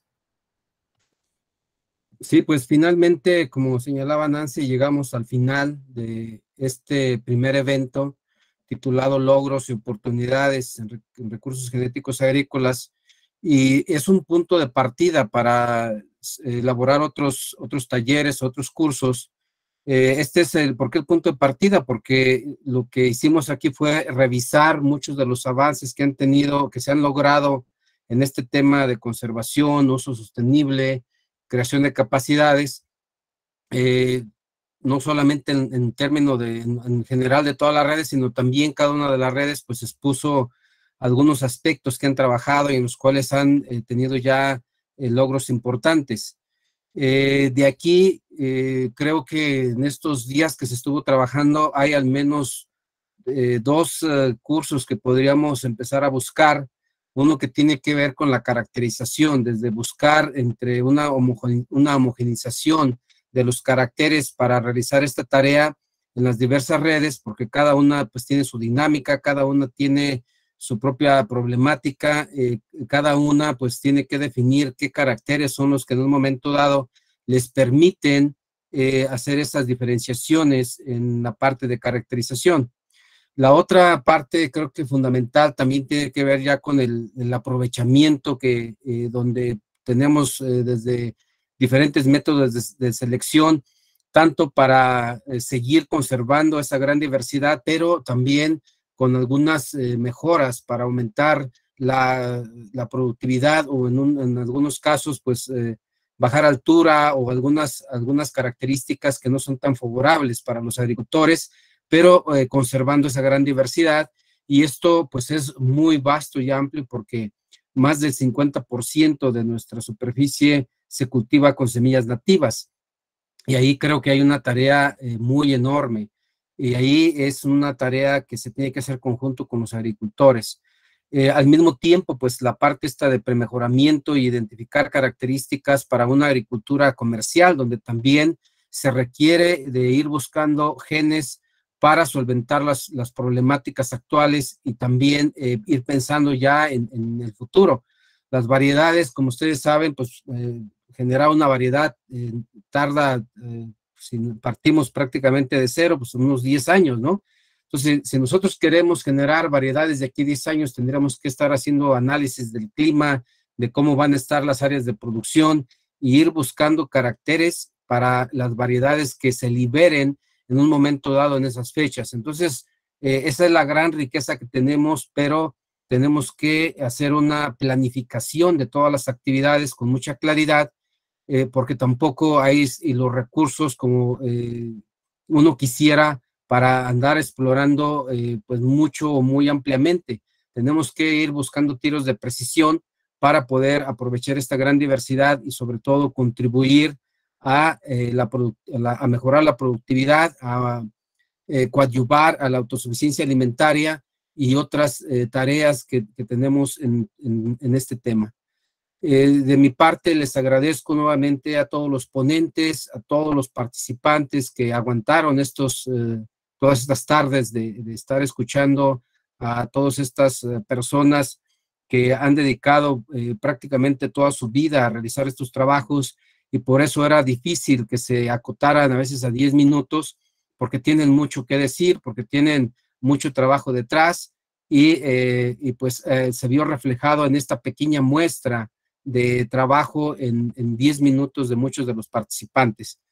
Eh, entonces no hay que partir de cero, aunque hay un, un stand-by de, de, trabajos en este sentido, muchos han seguido trabajando, entonces no hay que pensar que hay que partir de cero, sino considerar todo lo que ya se ha realizado y a partir de esto ir haciendo esta planificación para aprovechar mejor toda esta gran diversidad, eh, conservándola para eh, nuestras generaciones presentes y futuras.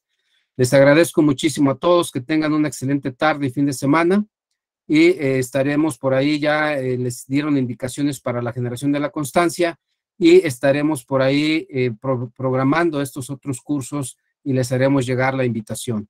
Muchísimas gracias, excelente tarde. Muchas gracias, felicidades.